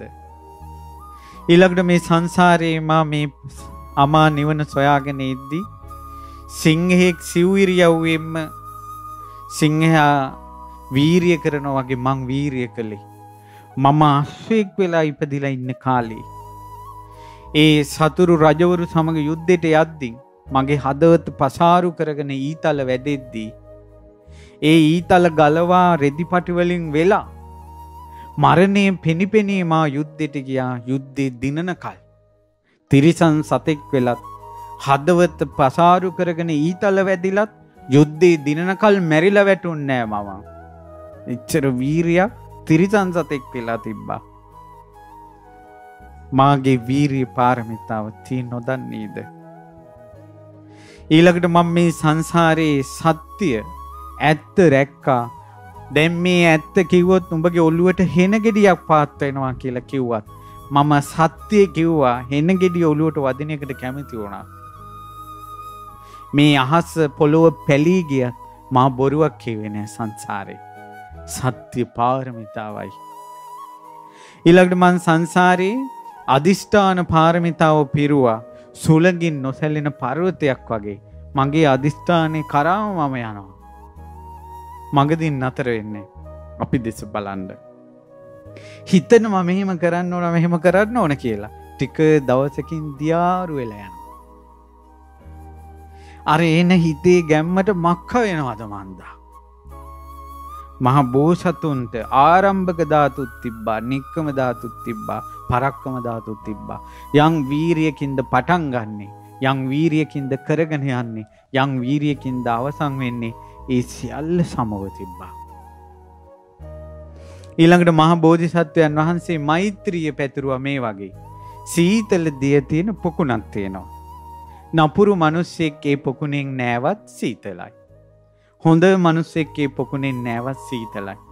ඒ පොකුණට බහින සියලු දෙනා සිසිල් කරන්න ඒ සීතල වතුරට පුළුවන්. එම්බා ධරති මාතා මා සංසාරය මෛත්‍රිය වැඩුවේ සීතල වතුරක් වගේ මගේ හදවතේ මෛත්‍රිය ඕනම කෙනෙක් සිසිල් කරවන. බෝධි සත්වයෝ. එම්බා ධරති මාන්තා මා එකාතක චන්දන සඳුන් කුඩු තවරද්දි ආදරින්. තවත් කෙනෙක් මේ අත රහිනවනං වෑයෙන් ඒ දෙදෙනා ගැනම එකම හිතෙන් එන්න පුළුවන් පාරමිතාවක් මා පෙරුවා උපෙක්කා පාරමිතා. ඒ පාරමිතා ධර්මයෝ අධිෂ්ඨාන කරනකොට මේ මහපොලොව නැමැති ධරතිී මාතාව කෙසේනන් නිහඬුව සිටින්ටද. මේ ඔබ සිටගෙන සිටින මා පයගසාගෙන සිටින මහපොලොව බලවත්ව කම්පාවෙන්ඩ පටන් ගත්තා. මෙහි මඩල කම්පා වුණා සැලී ගියා. ගිරි මේ කලා ඇතු පිටින් මරුබිමට වැටුඩා. ඔහු වැටුනාට පස්සේ මරසෙන් පලාගයා ඉසිලූලු අත සම්මා සම්බුදු නොවී සිටියදීම විජයග්‍රහණය කළා.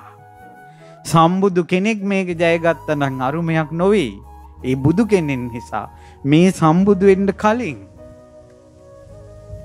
සම්බුදුවෙන්ට කලින් මග පෙන්වතුනේ. මේ වීරක්‍රියාව කළේ. මගේ ලෝතුරා සම්මා සම්බුදුරජාණන් වහන්සේ හිත දැහැංගත කළා. සංසිදී යන හදවත සුළග නැති තැනක දිලෙන පහන්සෙලක් වගේ නොසෙල්ලන පහන්සිලක් වගේ ඒ හිත එකඟ වී ගියා. එකඟෝ සිතේ ධ්‍යාන සමාපත්ති වැඩී ගියා. පෙර ජීවිත ගත කරන නුවන පහළ වුණා. චුතිය උපත දකින්න නුවන පහළ වුණා. බෝධි සත්වයන්ගේ ප්‍රඥාව ඉදිරියේ මේ අවිද්‍යාවට වෙච්ච දෙයක් නැතුව ගියා. මේ ලෝක සත්වයා අවිද්‍යාව නැමැති දැඩි අන්දකාරය ඉන්නේ. අවිද්‍යාව නැමැති බිත්තර කටුවෙන් වැහිලා ඉන්නේ මේ සත්වයා. මේ අවිද්‍යාව ඉක්මවා ගණ්ඩ බැරුව ඉන්නේ. එහෙව් මේ සංසාරෙම අපි ඇද ඇදගෙන යන අවිද්‍යාව මගේ බුදුරජාණන් මහා බෝධිසත්වයන්ගේ ප්‍රඥාව ඉදිරියේ ඉතා ඉක්මනින් නැසී ගියා. මුහුදු වෙරල්ලේ පාසටහන් ගොඩාත් තියෙනකොට එක්කෙනෙක් ඕවා මකල කොතෙක් ඉවර කරන්නද. අර මුහුදින් ගහන එක රැල්ලෙන් අර පාසටහන් ඔක්කොම කියනවා. සියලු පහ සටහන් වලට වැඩිය එක රැල්ලක බලය. එහෙනම් මහාසාගරය කොයි තරම් බලයක්ද. අවිද්‍යාව රැල්ලේ පිය සටහන්නම් මගේ බෝධිසත්වයන්ගේ ප්‍රඥාව මහමුහුද වගේ. මහමුහුද වගේ. මේ එක ගහක් ගලවන්ට සත්වේ කොයි තරම් මහන්සවෙන්න ඕනිද. ඒත් වේරම්භ වාතයට පුළුවන් පරුවත පවා සුණු විසුණු කරගෙන මේ ගස් කොළන් උදුරගෙන යන්ද.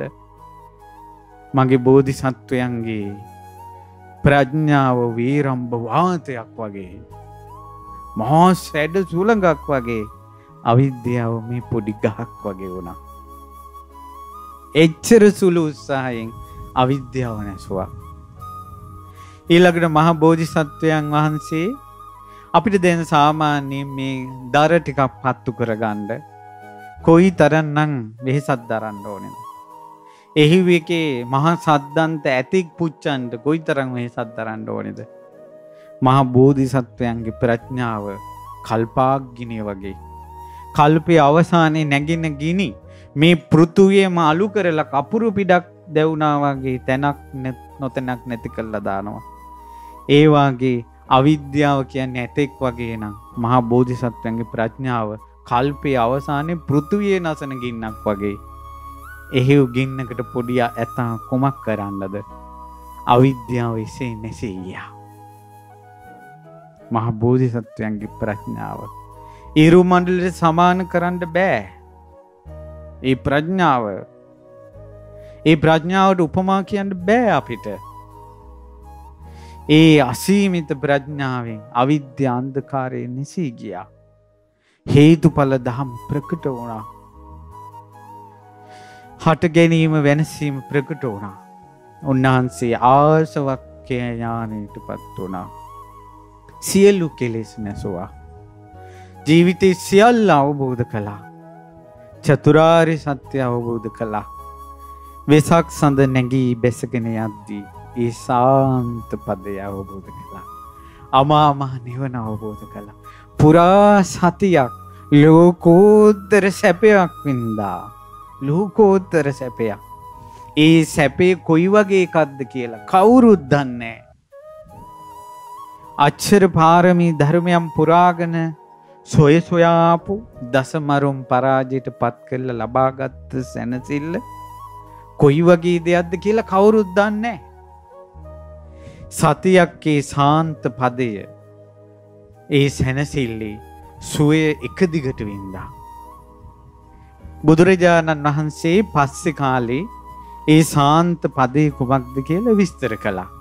බුදුරජාණන් වහන්සේ හැර ඒ සාන්ත පදේ නම් වූ අමාමයා නිවන ගැන දන්න වෙන කෙනෙක් නෑ. බුදුරජාන් වහන්සේ තමයි නිවන ගැන දන්නේ පින්වතුනි. අපි අම්මාගේ પરම්පරාවෙන් තාත්තගේ પરම්පරාවෙන් ඇසූ දෙයක්ද මේ නිවන කියන එක බුදුරජාණන් වහන්සේ කෙනෙක්ගේ මෝ මඩලින්ම පිටවිච්ච වචනයක්. ඒ නිසා අද විසක් පුම් පෝය දවසේ ලෝකයේ තියෙන උතුම්මදේ ශ්‍රේෂ්ඨතමදේ ඒ දස පාරමී දස උපපාරමී දස පරමත්ත පාරමී පුරල සොයාගෙන ආපු සාන්ත බව. ඒ නිවන මොකක්ද කියලා බුදුරජාණන් වහන්සේ විස්තර කරපු වචන ටිකක් අද විස්තර කරනවා. හොඳට අහගන්ඩ කවන් සවන් යොමු කරගෙන අහගෙන ඉන්න මේ තමයි ශාන්ත පදය. ඒ අමාමහ නිවන විස්තර කළේ බුදුරජාණන් වහන්සේ. මේ නිවන කියන වචනයට පහදින්ද කවදා හරි මේ සංසාර දුක නිදා සංසාර දුකෙන් අපි නිදහස් වෙන්න නම් මේ කියන සෑම වචනයකින්ම කියන සැනසෙල්ල අපි ලබන්න ඕන. අපි මේ දන් දිදී සිල් රැක රැක බණ ආහ ආහ නිවන් ලැබෙත්වා නිවන් ලැබෙත්වා කියලා පතනවනේ ඒ පතන්නේ මේ සැපය. ඔයා හොයන ඔයාලා හොයන නිවන පිංහතුනි ඔබ සංසාර දුකින් නිදහස් වෙන්න ඕන කියලා කියන වචනේ කොයි වගේ දෙයක්ද කියලා සාදුකාරදිදී අහන්ඩ මේ අමා නිවන ගැන. බුදුරජාණන් වහන්සේ පස්සෙ කාලෙක ඒ ලැබුවා වූ සාන්තපදේ විස්තර කළා. බුදුරජාණන් වහන්සේ වදාලා යාවතා භික්කවේ දම්මා සංකතාවා අසංකතාවා විරාගෝ තේසං අග්ගමක්කායති. මේ ලෝකයේ තියෙනවා සංකත ධර්මයෝ. සංකත කියන්නේ හේතුඵල දහමින් හටගත්ත දේවල්. හේතුඵල දහමින් හටගත්ත දේවල් තමයි මේ හැම තැනකම තියෙන්නේ. අපි හොයන්නේ පතන්නේ මේ ඔක්කොම හේතුඵල දහමින් හටගත්ත දේවල්. ඇහැට පෙනෙන්නේ කනට ඇහෙන්නේ හේතුඵල දහමින් හටගත්ත දේවල්. ඒවට කියනවා සංකත කියලා. සංකතයක ලක්ෂණයක් තියෙනවා. උපාදෝ පඤ්ඤායති, වයෝ පඤ්ඤායති, තිතස් අඤ්ඤ තත්තම් පඤ්ඤායති කියලා. ඒ කියන්නේ ඉපදීමක් පේනවා, නැසීමක් පේනවා, ඒ අතර වෙනස් වීමක් තියෙනවා. ඒකට කියනවා සංකතයක් කියලා. ඒ හේතුඵල ධමයෙන් හටගත් ඒවා මේ හැම දෙයක්ම. ඒ හේතුඵල ධමයෙන් හටගත් සංකත. හේතුඵල දහමට අයිති නැති අසංකත කියලා යමක් තියෙනවනම් ඒ සියල්ලකින්ම විරාගේ නං වූ අමාමහ නිවනම තමයි ශේෂ්ඨ. එහෙනම් ඒ සාන්ත පදේ තමයි ශේෂ්ඨතම දේ.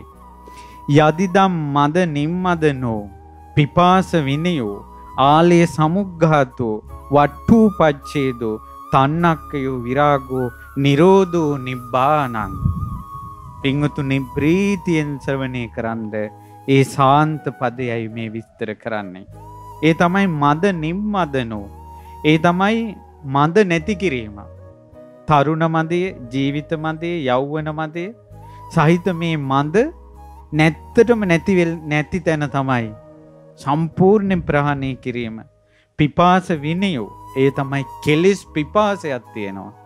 ඔබ යමක් සොයනවද අපි යමක් සොයනවද පතනවද ඒ ඔක්කොම අපිට පිපාසයක් තියෙන නිසා. නිවන පවා අපි හොයන්නේ පිපාසයක් තියෙන නිසා. ඒ පිපාසේ නැති කරන කරපු තැන. ආලේ සමුග්ගාතෝ ආලය සම්පූර්ණයෙන්ම නැති කල්ල දානවා. වට්ටූ පච්චේදෝ. වට්ටූ පච්චේදෝ කියන්නේ සසර ගමන නවතිනවා. තන්හක්කයෝ තන්නාව ශ්‍රය වන තැන. විරාගෝ රාගය නැති වුණ තැන. නිරෝධෝ තෘෂ්ණාව නිරුද්ධ වුණ තැන. නිබ්බානං ඒකට තමයි නිවන කියල කියන්නේ. සාධකාරදිදි අහන්ඩ අමහමා නිවන ගැන. බුදුරජාණන් වහන්සේ විස්තර කලා ඒ නිවන මේ වගේ එක. ඒතන් සන්තන් ඒක තමයි සාන්ත. ඒතම් පනීතන් ඒක තමයි ප්‍රනීත. යදිදන් සබ්බ සංකාර සමතෝ. එතන තමයි සියලු සංස්කාර ධර්මය සංසිඳී ගිය තැන. සබ්බූපදි පටි නිස්සක්ගෝ කෙලෙස් සහිත කර්ම දුරින්ම දුරු වූ තැන. තන්නක්කයෝ තෘෂ්ණාව සය වූ තැන. නිරෝධෝ තෘෂ්ණාව නිරුද්ධ වූ තැන. නිබ්බානන් ඒ තමයි අමාමා නිවන සාධකාරදිදී ශ්‍රවණය කරන්න. බුදුරජාණන් වහන්සේ විස්තර කලා අමාමහ නිවන ගැන අත්ති භික්කවේ තදායතන. ඒ අමාමහ නිවන මේවාගේ ආයතනයක් තියෙනවා. නිවන කියනක නෑනෙවේ නිවනක් කෙලෙකක් තියෙනවා. එවැනි ආයතනයක් තියෙනවා. යත්ත නේව පටවී ඒ තැන පටවී ධාතුව නෑ. පටවී ධාතු කියන්නේ පොළොවට පස්වී යන දෙයක් ගැන තියෙන තෘෂ්ණාවෙන් ග්‍රහණයවීමක් තියෙනවද ඒ පට විද්ධාතුව නෑ. ඊළඟට න ආපෝ ආපෝ ධාතුව නෑ. න තේජෝ තේජෝ ධාතුව පිහිටන්නේ. න වායෝ වායෝ ධාතුව පිහිටන්නේ. න ආකාසානංචායතනයක්.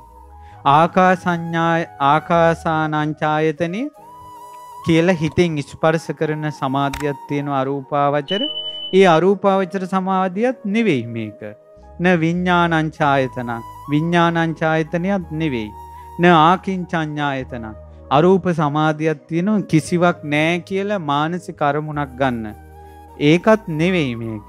න නේව සංඥා නා සංඥායතන සංඥාව ඇත්තෙත් නැති නැත්තෙත් නැති සමාධයක් තියෙනවා. ඒකත් නෙවෙයි මේ නිවන කියන්නේ.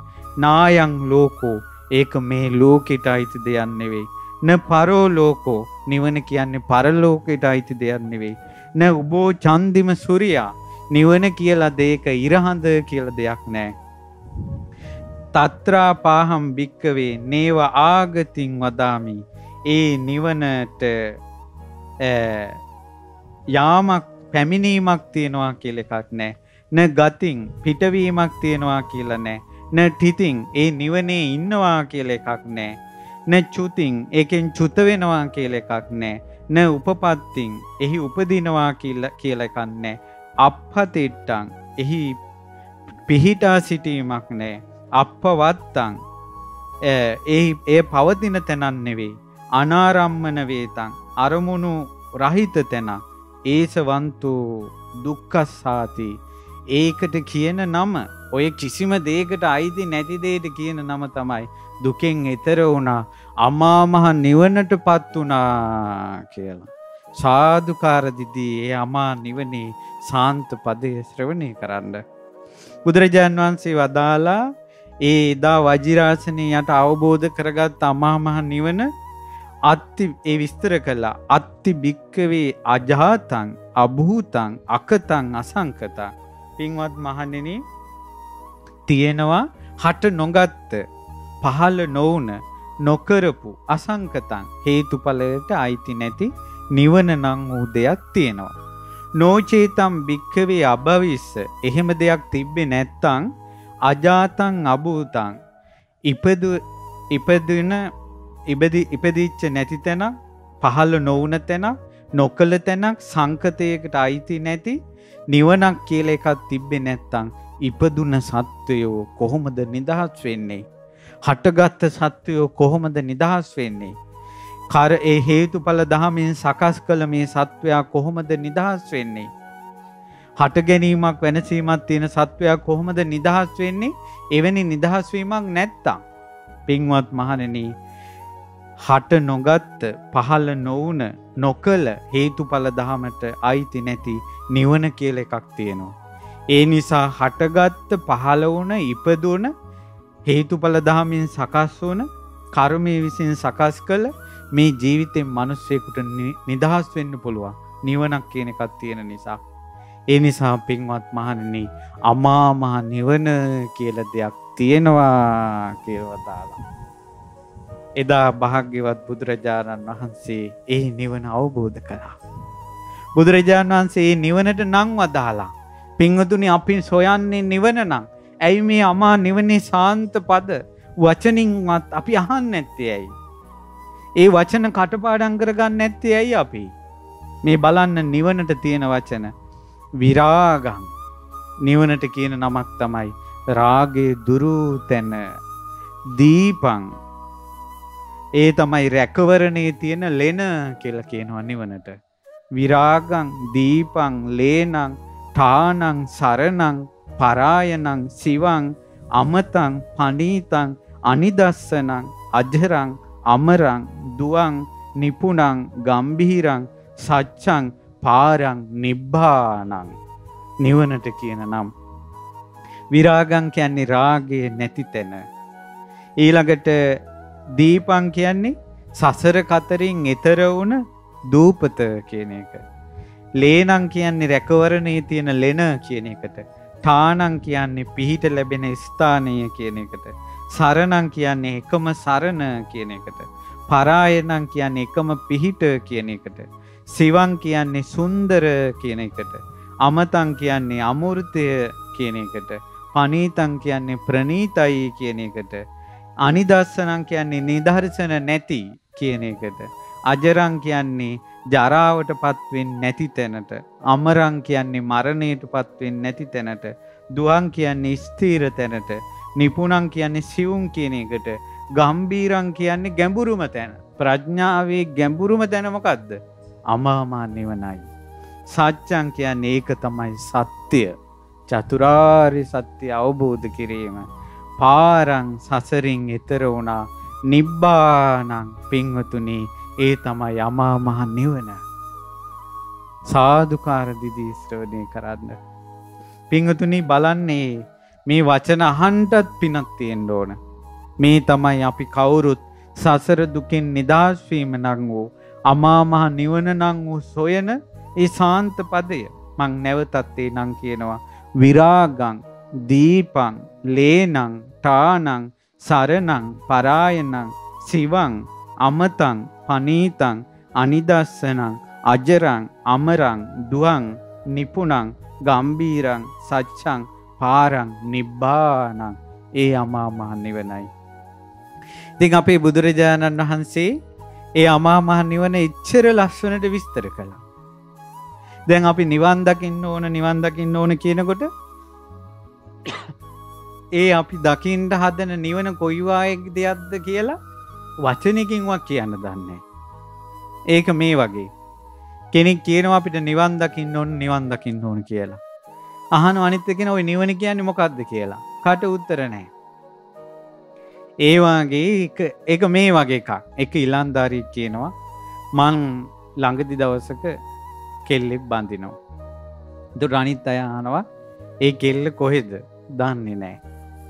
ඒ කෙල්ලගේ නව මොකක්ද දන්නේ නෑ. ගම මොකක්ද දන්නේ නෑ. වයස කියද දන්නේ නෑ. අම්ම තාත්තා කවුද දන්නේ නෑ. හැබැයි කෙල්ලෙක් බඳිනවා. ඒ වගේ එකක්. එතුට අපි කියන අපි අමාමහ නිවන දකිින්ට ඕන කියලා. එතුට මොකක්දේ දකින්න නිවන එක දවසක් මේ අව්වේ ඉන්නකොට එක හාන්දුරු නමකුයි මහි පරණ හාන්දුරනමක් වයස කාන්දුර නම. අව්වකිදලා බස්ටෑන්් එක්කට ඒ හාමුදුරුවයි මයි ගිය අව්වේ බස්ටෑන්ඩි හෙවනයි. අර හාන්දුරු මට කතා කලගෙන ආශ්මතුනි නිවන කියන්න මේ වගේ එකක්කෙවෝ. එතුට ඒක නිවන කියන බස්ටෑන්ඩි එකක් අයකක්ද. මේ නිවන කියන අවබෝධ කළේ බුදුරජාණන් වහන්සේ. එනිසා බුදුරජාණන් වහන්සේගේ වචනයෙන්ම නිවන විස්තර කරගන්න ඕන. නිවන කියන්නේ අව්වේදල හෙවනකට නෝවගේ කන්නවෙයි. ඉටත් වඩා සාන්තයි ප්‍රනීතයි. මේ වචන ටිකවත් කටපාඩන් කරගන්න. පිම්මත් වෙන වන්දනා කියන පොත්වහන්සේගේ වන්දනා පොතක් මහමෙවුණාවේ පින්වල්ල පුෂාන්නන් සකස් කළ තියෙන් ඒක නිබ්බාන වන්දනාව කියල තියෙනවා. පින් ඇති පින්වතුනේ පුළුවන්නන් අවස බුදුන් අදිනකුට නිර්වාණ වන්දනාව කරන්න. තුර මේ වචන ටිකවත් හිතට හුරු වෙනවා. නිවනට වඳින්ඩ එදා මගේ මහ බෝධිසත්වයෝ මොනරෙක් වෙලා ඉද්දිින් මොනරෙක් වෙලා ඉද්දිින් ඒ බ්‍රාග්මනා වේදගූ සබ්බ දම්මේ තේමේ නමෝ තේච මම්පාලයන්තු. බුදුවරුන්ට වන්දනා කළා. ඒ බ්‍රාහ්මනා වේදගූ සබ්බ දම්මේ සියල්ල අවබෝධ කරපු යම් බ්‍රාහ්මණයෝ කියලා කියන්නේ බුදුරජාණන් වහන්සේලාට. ඒ බ්‍රාහ්මනා වේදගූ සබ්බ දම්මේ තේ මේ නමෝ. ඒ බුදුරජාණන් වහන්සේලාට මම වඳිනවා. තේච මම් පාලයන්තු. බුදුවරු මාව රකිත්වා. කවුද මේ කියන්නේ? මොනරෙක් මොනරෙක් ඊළඟට නමෝ විමුත්තානන් නමෝ විමුත්තියා.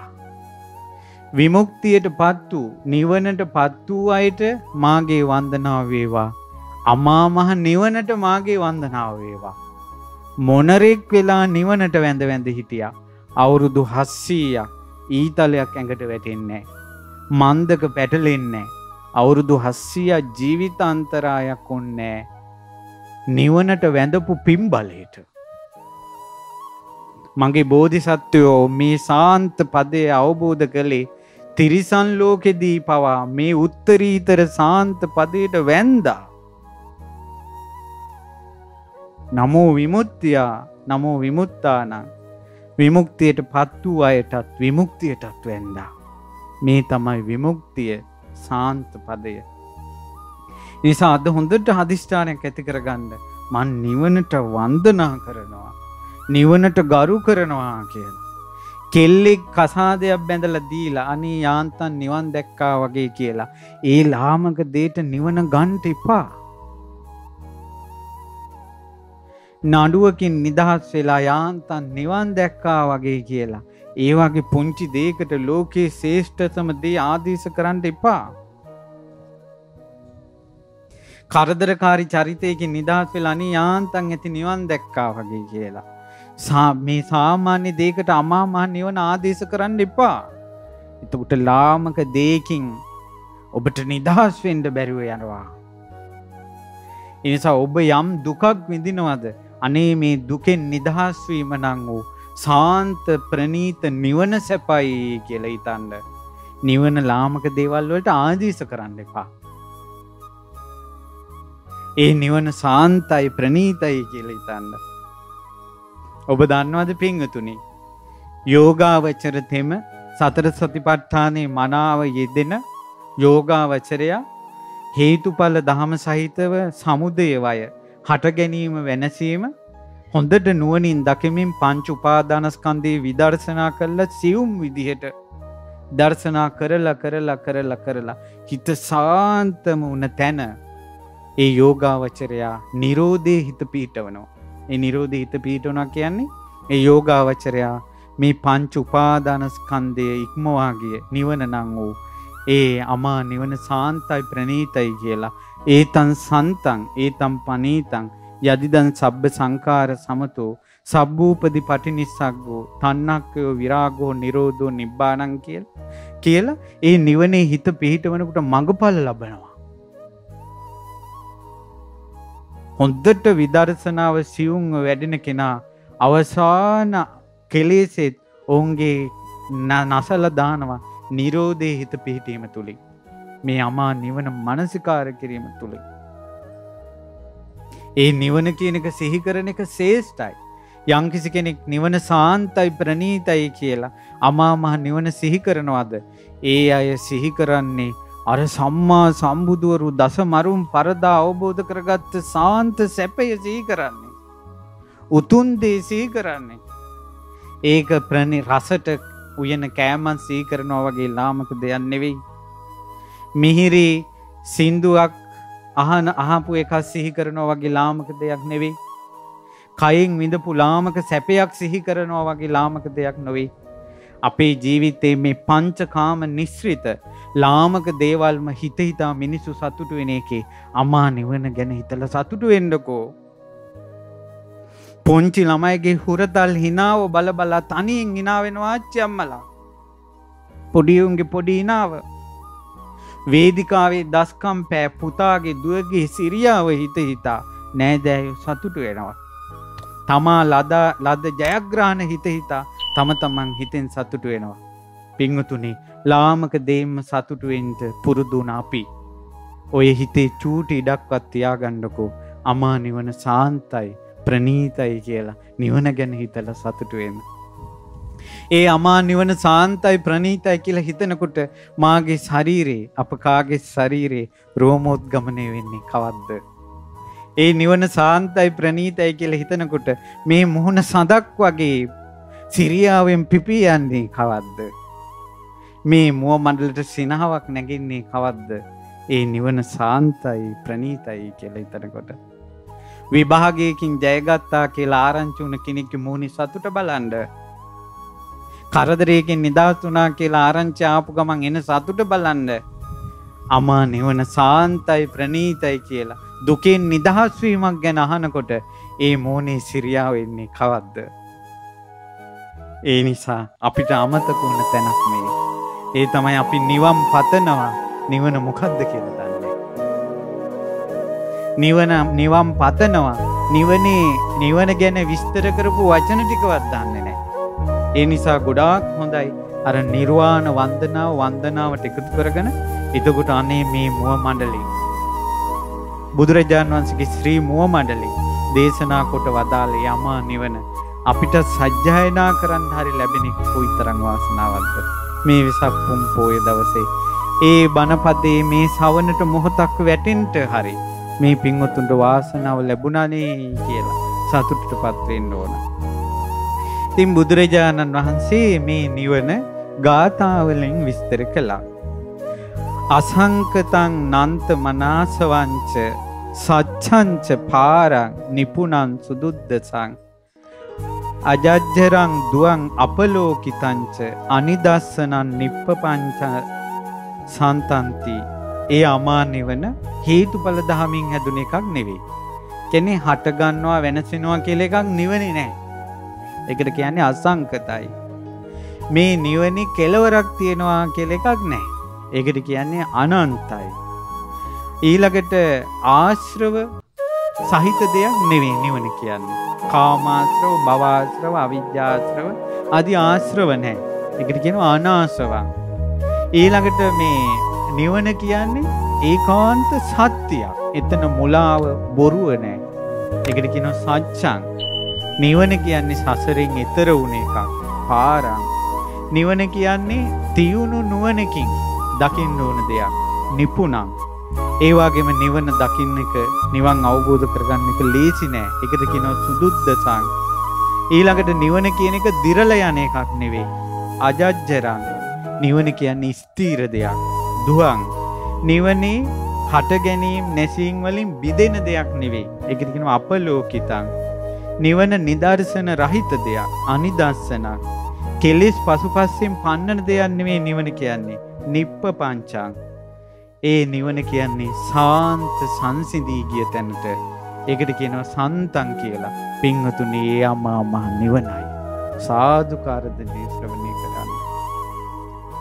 බුදුරජාණන් වහන්සේ අමා නිවන ගැන වදාලා ගාථාවලින් අමතං පනීතන් සිවංචකේමං තන්හක්කයෝ අච්චරියංච අබ්භූතං අනීතිකං අනීතික ධම්මක් නිබ්බානමේතං සුගතේන දේශිතන්තේ සුගතයන් වහන්සේ වදාළ ඒ අමා මහ නිවන අමෘත.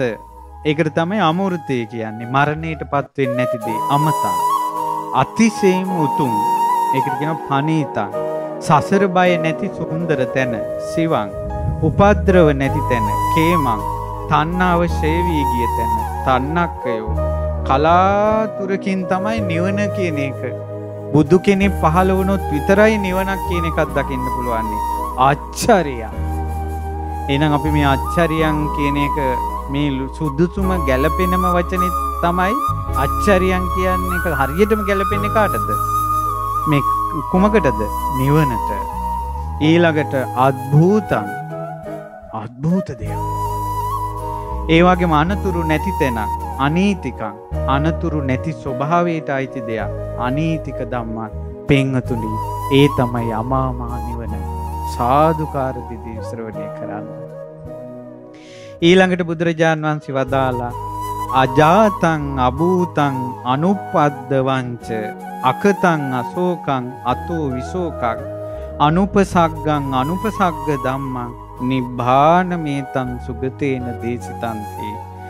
සුගතයන් වහන්සේ විසින් වදාරන ලද ඒ අමා නිවන නූපන් දෙයක්. අජාතං හට නොගත්ත දෙයක් අභූතං උපද්‍රව නැති දෙයක් අනුපද්දව. කිසිවකින් තොර නොකර කිසිවක් කිසිවකින් නොකරන ලද දෙයක්. අකතං සෝක රහිත දෙයක් අශෝකං. සෝක බැහැර වූ දෙයක් විශෝකං. ප්‍රීඩා රහිත දෙයක් අනුපසග්ගං පීඩා රහිත ස්වභාවයෙන් යුතු දෙයක් අනුපසග්ග ධම්මං. පින්වතුනි ඒ අමා මහ නිවනයි. සාදුකාර දෙදී ශ්‍රවණය කරන්න. ඒ අමා මහ නිවන ගැන බුදුරජාන් වහන්සේ වදාලා ගම්බීරංචේව දුප්පස්සං උත්තරංච අනුත්තරං අසමං අප්පටි සමං ජෙට්ටං සෙට්ටන්ති උච්චතීති ඒ අමාමහ නිවන ගැඹුරටම පමුණුවන දෙයක් ප්‍රඥාවේ ගැඹුරුම තැන තමයි අමාමහ නිවන. එකට කියනවා ගම්බීරං. ආර්ය අෂ්ටාංගික මාර්ගයෙන් තොරව නම් දකින්න බෑ. ලීසියෙන් දකින්න බෑ. දුප්පස්සන්. සියලු ලොව තරණය කරපු දෙයක්. උත්තරං. නිවනට වඩා උතුම් වෙනත් දෙයක් නෑ. අනුත්තරං. නිවනට සමාන දෙයක් නෑ. අසමං. නිවනට සම කළ හැකි කිසිවක් නෑ. අපපටි සමං. සියලු ගුණයන්ට වඩා වැඩිමහලු නිසා ජෙට්ටං කියනවා නිවනට. සියලු ගුණයන්ට වඩා ශේෂ්ඨ නිසා සෙට්ටං කියනවා. පිංහතුනි ඒ අමා මහ නිවනයි. සාදුකාර දිදී ශ්‍රවණය කරන්න. ඊළඟට බුදුරජාණන් වහන්සේ තවත් ගාථාවකින් වදාලා ලේනංච තානං අරනං අනංගනං ආකාච මේතං විමලන්ති උච්චති. දීපෝ සුකං අප්පමානං පතිට්ඨා අකිංචනං අප්පපංචන්ති උත්තන්ති ඒ අමා මහ නිවන සසර දුකින් පීඩිත අයට රැකවරණේ ඇති කරන ලෙන වගේ. නිසා ලේන සසර දුකින් බේරා ගන්නා තැන ත්‍රාණ කෙලෙස් නැති තැන අරණ උපක්ලේශ නැති තැන අනංගන දොස් නැති තැන අකාච නිරුමල තැන විමල සසර සැඩ සයුරට යට නොවන දූපත දීප කෙලෙස් නැතිවීමෙන් සැප ලබන තැන සුකං පමණ නොකළ හැකි තැන අප්පමාන සසර සයුරෙහි නොගිලී පීතන තැන පතිට්ටා රාගාදි කෙලෙස් නැති තැන අකිංචනං. පසුපසින් කෙලෙස් හඹා නොයන තැන අප්පපංච කියලා එක එක නමින් හඳුන්වනවා. මේ තමයි අමා මහ නිවනට කියන නම. සාදුකාර දිදී ශ්‍රවණය කරන්න. ඔබ අමා මහ නිවන කී ගමනක් නම් හිතෙන් පතල ඇතිද? හැබැයි කවුරු හරි ඔබට කිව්වොත් අමා මහ නිවනට කියන නම් පහක් කියන්න කියලා. හැබැයි අද නම් කියන්න. දීපං ලේනං ඨානං සරණං පරායනං අනංගනං දෙට්ටං සෙට්ටං අකිංචනං කම්පා නැති තැන ඒ නිසා ඒ නිර්වාණ වන්දනාව නිර්වාණය සිහිකරන එක හිතෙන් පිංහතුනි ඇති කරගන්න. මේ කෙලෙස් සහිත දේ ඉක්මවා ගිය තැන තෘෂ්ණාව සෙයවූ තැන තමයි නිවන කියලා. කාටත් පාඩම් කරගන්න පහසු වාක්‍යයක් තමයි. ඒතන් සන්තං ඒතම් පනීතං යදිදන් සබ්බ සංකාර සමතෝ සබ්බූපදි පටිනිස්සක්ගෝ තන්නක්කයෝ විරාගෝ නිරෝධෝ නිබ්බානං තන් නිබ්බානං සරණං ගච්ඡාමි. සිරසා නමාමි අභිපූජයාමි ඒ නිවනට වඳිනවා. මේ නිවන කියන එක හිතේ රැවුදුන් නැත්තම් සසර දුකෙන් නිදහස් වෙන්න ඕන කියන එක රැවුදුන් නැත්තම් අපි කරන කරන පින කැටි වෙන්නේ ලෞකික අරමුණු උදෙසා. ඒක හරියට මේ වාගේ පුප්පානිචේව සුචිනන්තං. ඔන්න මල්කාරයෙක් ඉන්නවා. ඒ මල්කාරයා මල් නෙලනවා. මල්කාරයා මල් නෙරන්නේ මොන අදහසින්ද? මල් ගොතනවා. දැන් අපි ගත්තොත් උදාහරණයක් ගත්තොත් අපි ඔන්න පන්සලට යන්න මල් ගමු කියලා. ඒක දැන් මල් කඩනවා. මේ ඔක්කොම මොකටද මෙයා කරන්නේ? පන්සල් යන්න. එතකොට නෙලන නෙලන මලක් පාසා එයා මුලින් පිහිටෙව්වනම් මං පන්සල් යන්නයි මල් කඩන්නේ කියලා කඩන කඩන මලක් මල්ටික ඔක්කෝම බන්ධනය වෙන්න එකතු වෙන්නේ පන්සල් යනවා කියන අරමු අරමුණත් එක්ක පුප්පානිචේව සුචිනන්තම් ව්‍යාසත්ත මනසන් හර මේ මිනිසුන්ගේ හිත බන්ධනයෙන් බැඳිල තියෙන්නේ. එදවට මොකද වෙන්නේ අතිත්තං ඒව කාමේසු මේ ලෝක සත්වයා කවදාවත් කාමෙන්න්නන් සතුට වෙන්නේ. ඒ කියන්නේ මේ ලෝක අම කියමු කෙනෙක් පින් කරනවා ලස්සන රූපයක් ලැබුණ ලැබෙන්න කියලා. ඔන්න එයාට කියමුකෝ ලස්සන රූපයක් ලැබුණා කියලා. එදාට දැන් ඇති කියලා එයාට හිතෙන්නේ නැහැ. එයා එදාට එදාට පත්තනවා ලස්සන හඬක් ලැබෙන්න කියලා. ලස්සන හඬක් ලැබුණා කියන්නකෝ. එදාට එයා ඒකෙන් සෑහීමකටපත් වෙන්නේ නැහැ. එයා එදාට පතනවා මා ලෝකෙ ප්‍රසිද්ධ වෙන්න කියලා. ප්‍රසිද්ධ වෙන්න පතනවා කියන්නකෝ. එයා එදාට පතනවා මා රජ වෙන්න කියලා. ඒ නිසා මේ කාම සම්පත් පැතිල්ලේ නම් ඉවරයක් නැහැ. දැනට තියෙන ඌනතාවයට අනුව පැතුම පතනවා. දොට අවසානයේ දන්නේම නැතුව වෙන්නේ පින් කරලත් ලෞකික දේවල්ම පතලා. එනිසා ලෞකික දේවල් පතන් දෙපා. අපි මේ ලෝකයේ පින්වතුනි නොවින්දපු සැපක් නෑ. මගේ බුදුරජාණන් වහන්සේ සියල්ල දන්නා වූ සියල්ල දක්නා වූ බුදුරජාණන් වහන්සේ දවසක් වදාලා පින්වත් මහණෙනි ගොඩාක් සැප සම්පත් විඳින හොඳ යානවානවල ඉන්න මාලිගා මන්දිරවල ඉන්න කෙනෙක් ඔබට දකින්න ලැබේවි. ගොඩාක් සැප විඳිනවා. හොඳ ලස්සන නෝන කෙනෙක් ඉන්නවා ලස්සන මහත්තෙක් ඉන්නවා ලස්සන උරතල් බබාලා ඉන්නවා ඊළඟට ලස්සන ගෙයක් තියෙනවා හොඳ වාහන තියෙනවා. දෙන්න රණ්ඩු වෙන්නේ නැහැ පුදුම ආදරෙන් ඉන්නවා. පුදුම සැපක් භුක්ති විඳිනවා. බුදුරජාණන් වහන්සේ වදාළ ඔය වාගේ කෙනෙක් දකින්නකොට නිට්ඨමේතං ගන්තබ්බං ඒකාන්තයෙන් හිතන්න මම සංසාරයේ මේ වාගේ සැප වින්දා. හැබැයි සැපට මොකක්ද උනේ අනිත්‍ය වුණා. නැසී ගියා. වෙනසී ගියා. වෙනස් වුණා එහෙනම් තව මොනවද පතන්නේ? එහෙනම් ඒ පතන දෙයටත් මොකද්ද වෙන්නේ? අනිත්‍ය වෙනවා නැසෙනවා වෙනසෙනවා නේ. දුක් විඳින සත්වයෙක් දකින්න කිව්වා. අත්පය නැතුව අසූචි ගොඩේ දිව එළියට දාගෙන ඇස් ලොකු වෙලා විකෘති ළමෙක් කියන්නකෝ. දුක් විඳින කෙනෙක් දකිනවා. නිට්ඨමේතං ගන්තබ්බං. ඒකාන්තයෙන්ම තීරණයකට එන්න මාත් මේ විදියට හිටියා. තංකිස හේතු එකට හේතු මොකක්ද දීරත්තං හෝ භික්කවේ සංසාරා. මේ සංසාරය එච්චරම දීර්ඝයි. මේ අතපය නැතුව කොටෝ විදිහට අපි ඇවිද්දා මේ පොළොවේ.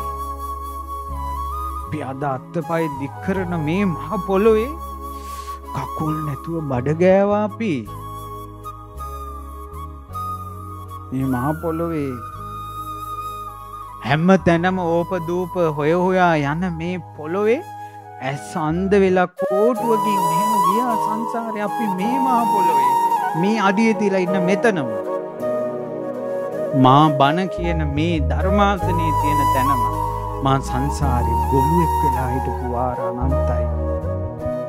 ඔබ කාට හරි අතපය දික් කළා කෑ ගහනවා නම් යම් තැනක ඉඳලා එතනම ඔබ කතා කරගන්න බැරුව ඉපදිච්ච ජීවිත අනන්තයි. සංසාරේ ඉච්චරම දීර්ඝයි. පින්වත් මහණෙනි මේ මහ පොළොවේ හිස තිබ්බේ නැති තැනක් නැහැ. මේ ආකාශේ පියාසර නොකරපු තැනක් නැහැ. ඉච්චර දීර්ඝයි සංසාරේ. තවත් මොනවද අපිට පතන්න තියෙන්නේ? මේක නුවණින් තේරෙනවා නම් මේ ලෝක සත්වයාට එකම එක ප්‍රාර්ථනාවක් කරනවා.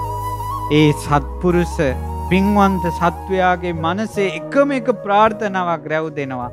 ඒක කලින් නොපතපු දෙයක්. ඒක කලින් නොලැබූ දෙයක්. ඒක කලින් ගිය නැති තැන. ඒ කලින් ආපු නැති තැන.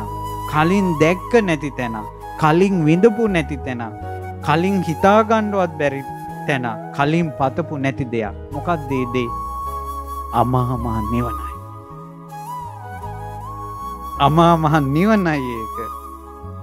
ඒ සාන්ත පදය මේ මනසින් පැතුවොත් ඒකනම් කවදාවත් ඒක අනිත්‍යයට අයිතිද. අස්තීර බවට අයිතිද. වෙනස් වන දේට අයිතිද. මේ ලෝකෙට අයිතිද. කඳුලට අයිතිද. වැලපීමට අයිතිද.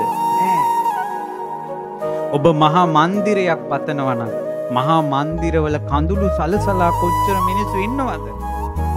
ඔබ මහා මන්දිරේ පතන්නේ කඳුලත් එක්කමයි. ඔබ ලස්සන රුවක් පතනවන ලස්සන රූපයකින් අඩ අඩා ඉන්න අය කොතෙක්ද ඔබේ ලස්සන රුව පතන්නේ ඔය කඳුලත් එක්කමයි.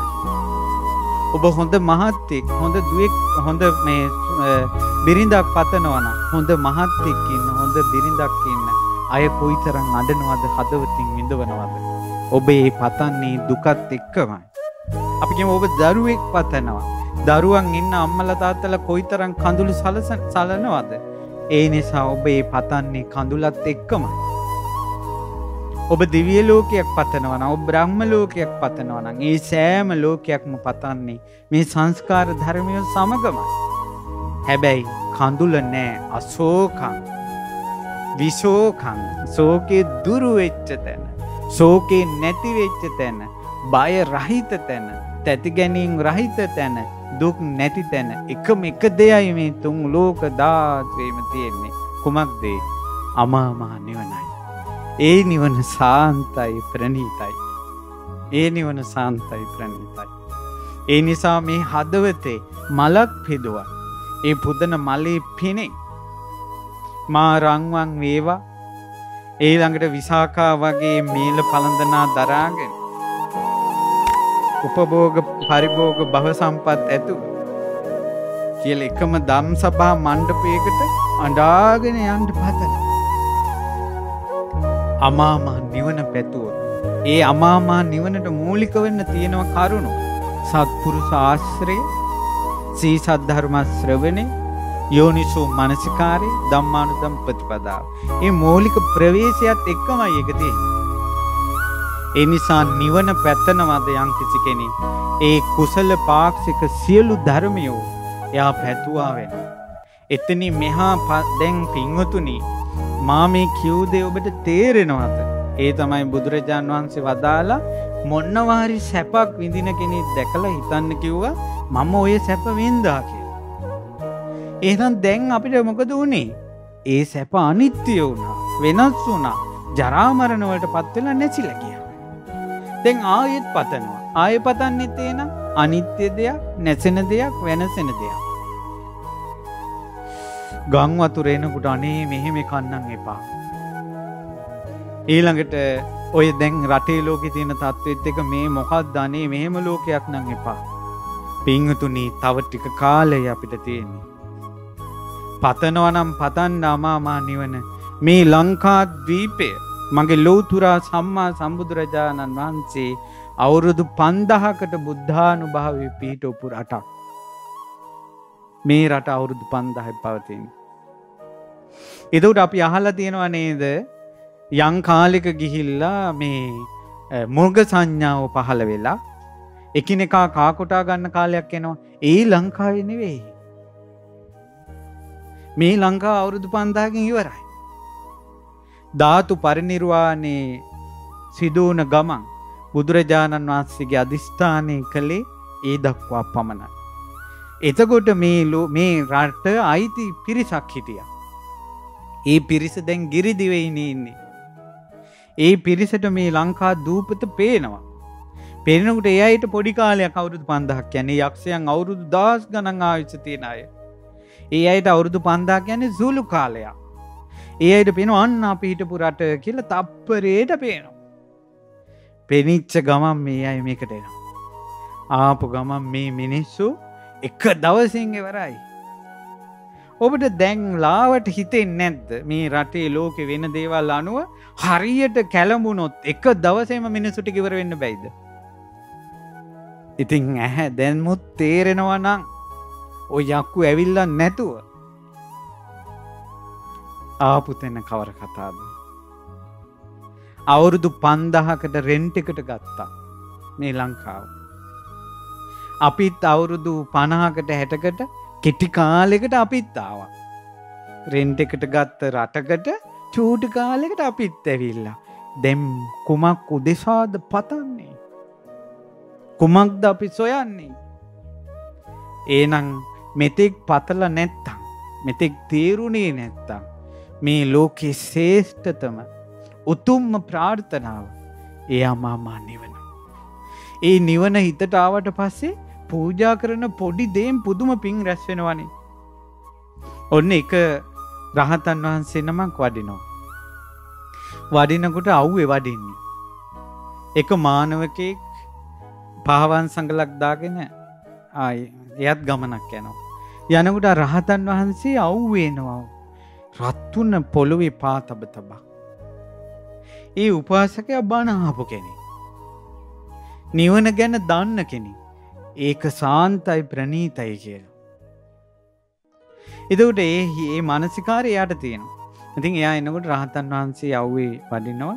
එතකොට මේ එක පාර මතක් වුණා මේ අනේ මේ ශ්‍රමණයන් වහන්සගේ පා පිච්චෙනවනව කියලා ඉක්මනට අවසරයි ස්වාමිනි කියල වැඳල තමන්ගේ බාට දෙක ගලවලා උන්වහන්සගේ සිරිපත්තුල්ලඟ තිබ්බා. තියෙන ගමන් කල්පනා කළා එම්බා පාවන් සංගල උඹ මාව සාන්ත අමුෘත පදයට මාව ඇරම් පලයක්. අර පාවන් සංගලට කියන. උඹ මාව අමා නිවනට ඇරම් පලයක්. කියල පාවන් සංගල දැම. පස්සෙ කාලෙක ඒ රහතන් වහන්සේ දේශනා කරනවා. මන් සාන්ත පදේ අවබෝධ කළේ අර පිනටගේ. දෙක්කද හිතේ නිවන තියාගන්න. හිතේ නිවන තියාගන්න. පුදන මලක් දල්වන පහනක් පැතිරී යන සුවඳක් තමන්ගේ දෑතිම් පුදනකොට. අනේ මේ පිනෙන් මංගේ සාන්ත පදයට මාව ඇරං යත්වා. හිතේ තියෙනවන. පැම්බඳුනක් අතට ගන්නවා. ගිලම් පස එකක් අතට ගන්නවා. අටපිරිකරයක් අතට ගන්නවා. පූජාවක් අතට ඇරන්ති ගිහිල්ලා මෙහෙම පුදනවා බුදුරජාණන් වහන්සේට පූජා වේවා කියලා. පුදනකොටම බර අඩු වෙනවා අතට සැහැල්ලු වෙනවා. අනේ මේ පින් බලෙන් සකල කෙලෙස් බර මා තුලින් නැති වී යනවා. බර දෙයක් පූජාවට අරන් ඇවිල්ලා පිදුවට පස්සේ සැහැල්ලුව බලන්න. ඒ සැහැල්ලුවෙන් හිතනවා අනේ මං සියලු කෙලෙස් වලින් කෙලෙස් බහරයෙන් මා නිදහස් වෙනවා නම් ඒ හැම මොහොතකම එයාගේ හිතේ අරමුණක් වැඩ කරනවා අමා මහ නිවන කියලා. පින්වතුනි ඇති ලෞකික දේවල් පැතුවා ඇති. උපභෝග පරිභෝග සම්පත් පැතුවා ඇති. රජ සිටු මැතිවරුවෙන්ට තවමත් පතනවද. රජවෙන්න පතනවද. මැති ඇමතිවරුවෙන්ට පතනවද.